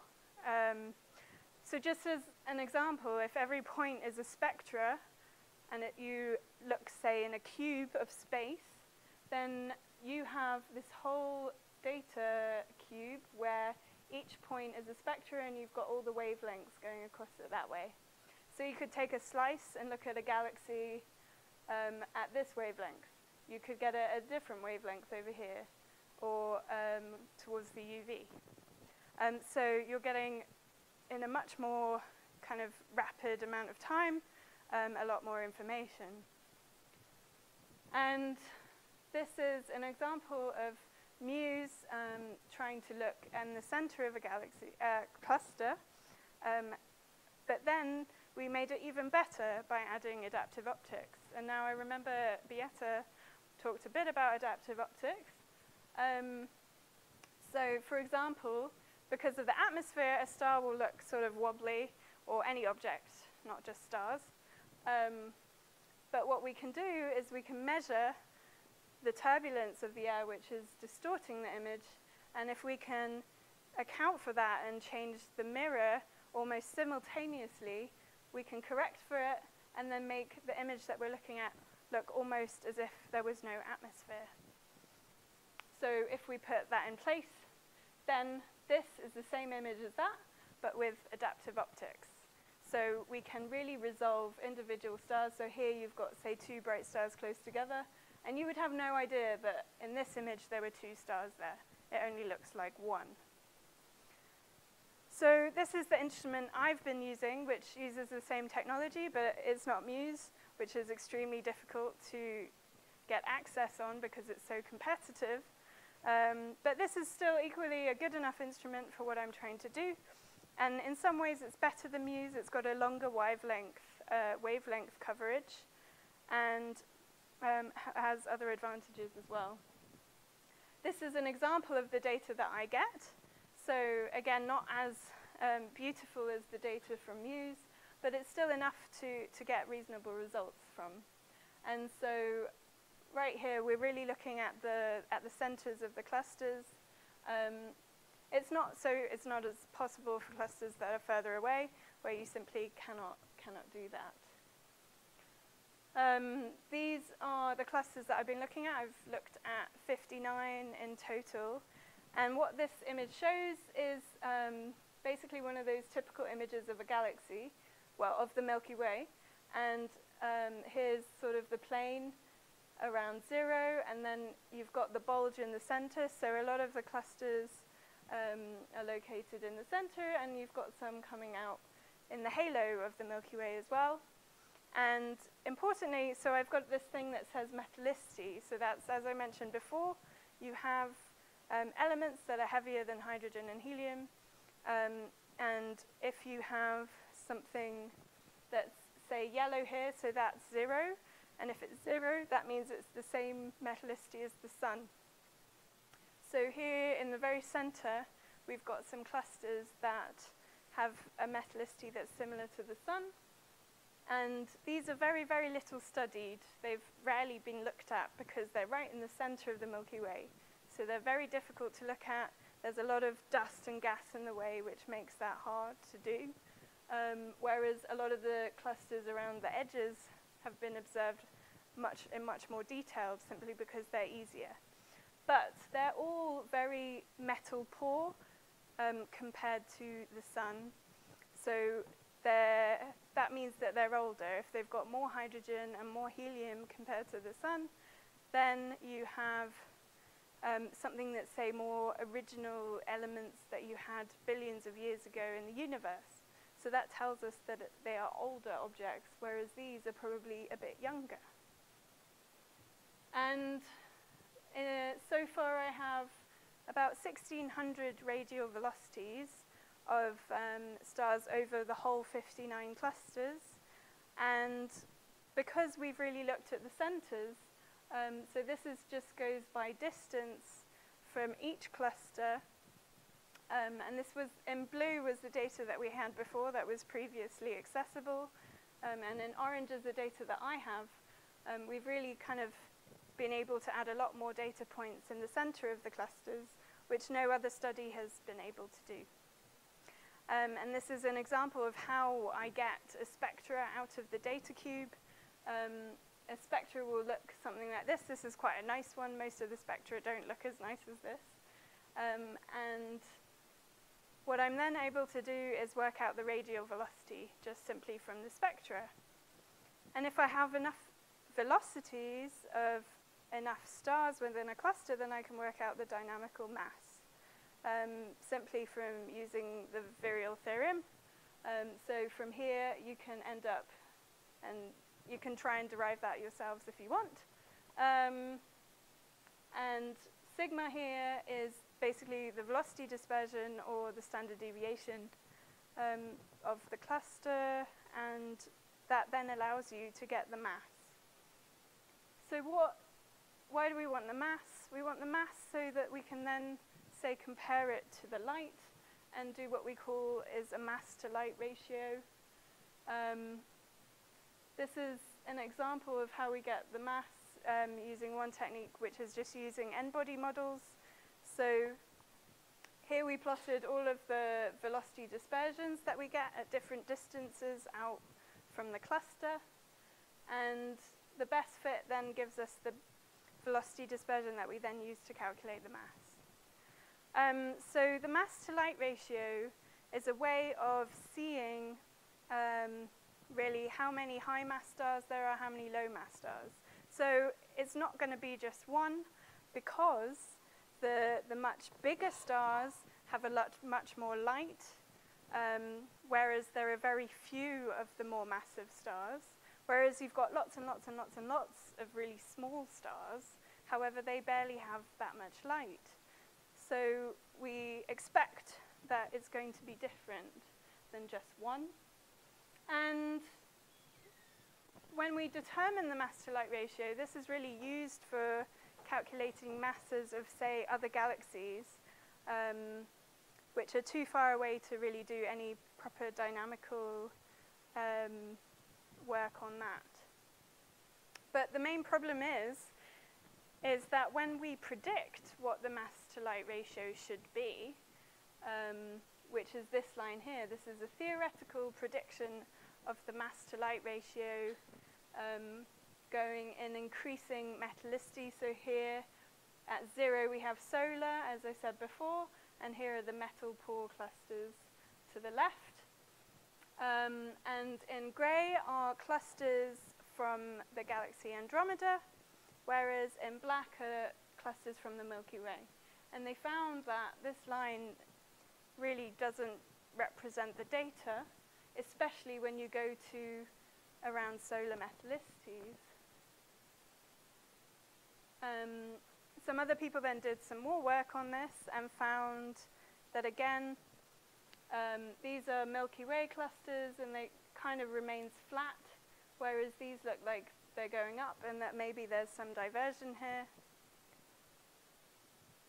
And this is the data that I have. So previously, this kind of only goes up to about minus 0.5, whereas I've kind of extended the data set to about zero, And it's really obvious here that there is some discrepancy happening. So, where does it come from? We don't really know.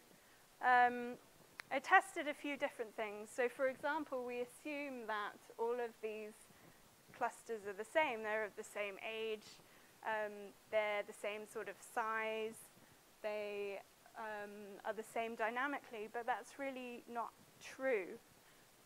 They're, as I said, the, the clusters that are more like the sun are probably younger, whereas these clusters are much older. Um, and there are other things like remnants. So remnants are, say, neutron stars or black holes.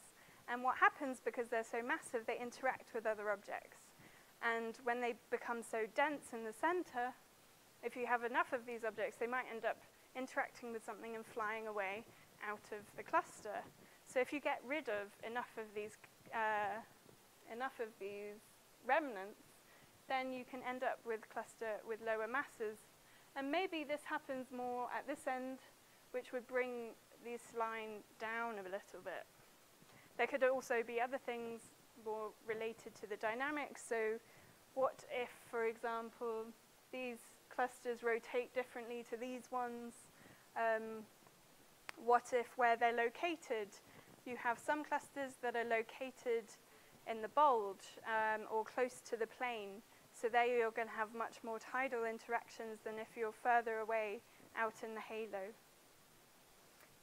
So just to conclude, star clusters are really useful, but we have to be careful.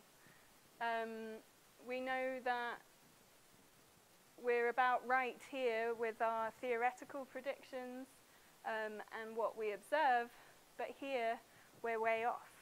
So in the past, well, and also currently, astronomers are assuming that we've got this theory right, but it really uh, is not the case, and we have to be more careful. Thank you. That is all I have to say. Any questions?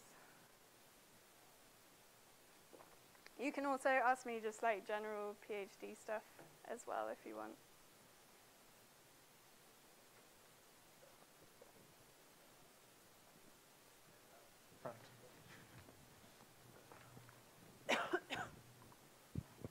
Hello. Uh, I want to ask you if there is any uh, try to use artificial intelligence in uh, analyze uh, like pictures of clusters, which uh, full of stars. Yeah, so machine learning is becoming much more common in astronomy. It's taken a while. Um, and there are some people, other students that I'm working with who are doing, um, doing machine learning and currently not in this field that I know of that it's been used, um, but it's definitely becoming more popular and a lot of the results um, are quite interesting because there are sort of two different main ways that you can use machine learning. You can sort of tell it, um, you can do it either supervised or unsupervised. And what that means is you could say, let it figure out entirely these uh, similarities between different objects or whatever. Or you can sort of give it some clear definitions of what you want it to find. Um, and so when you do unsupervised learning, you can really discover say completely different things because it's not as biased as if our human expectations are, are giving it. Did that answer your question? Yeah, yeah. Thank you. Any more questions? Okay, in that case, let's thank Hannah again. Okay, so that ends the official part of today. Let me remind you all, your homework is due uh, now. I see that there's lots of homework in Same's hand. Excellent. If you haven't given it to Same uh, or me yet, give it to us now. Tomorrow is a little bit lower intensity. We start at 10 a.m. for the last lecture on string theory.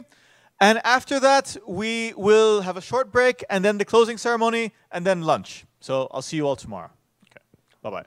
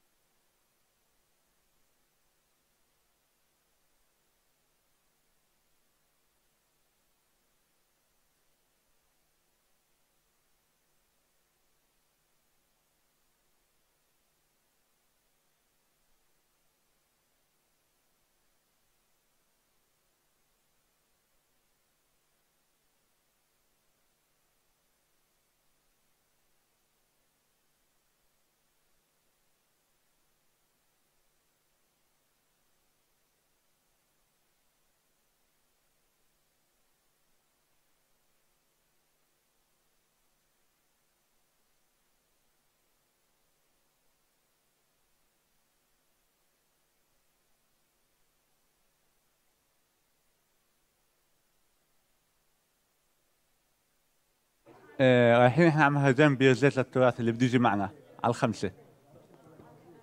بدنا نطلع من هون أو يعني ننطلق من المنطقة. في بيرزيت البلد القديمة. مشي. باص أو مشي بنشوف.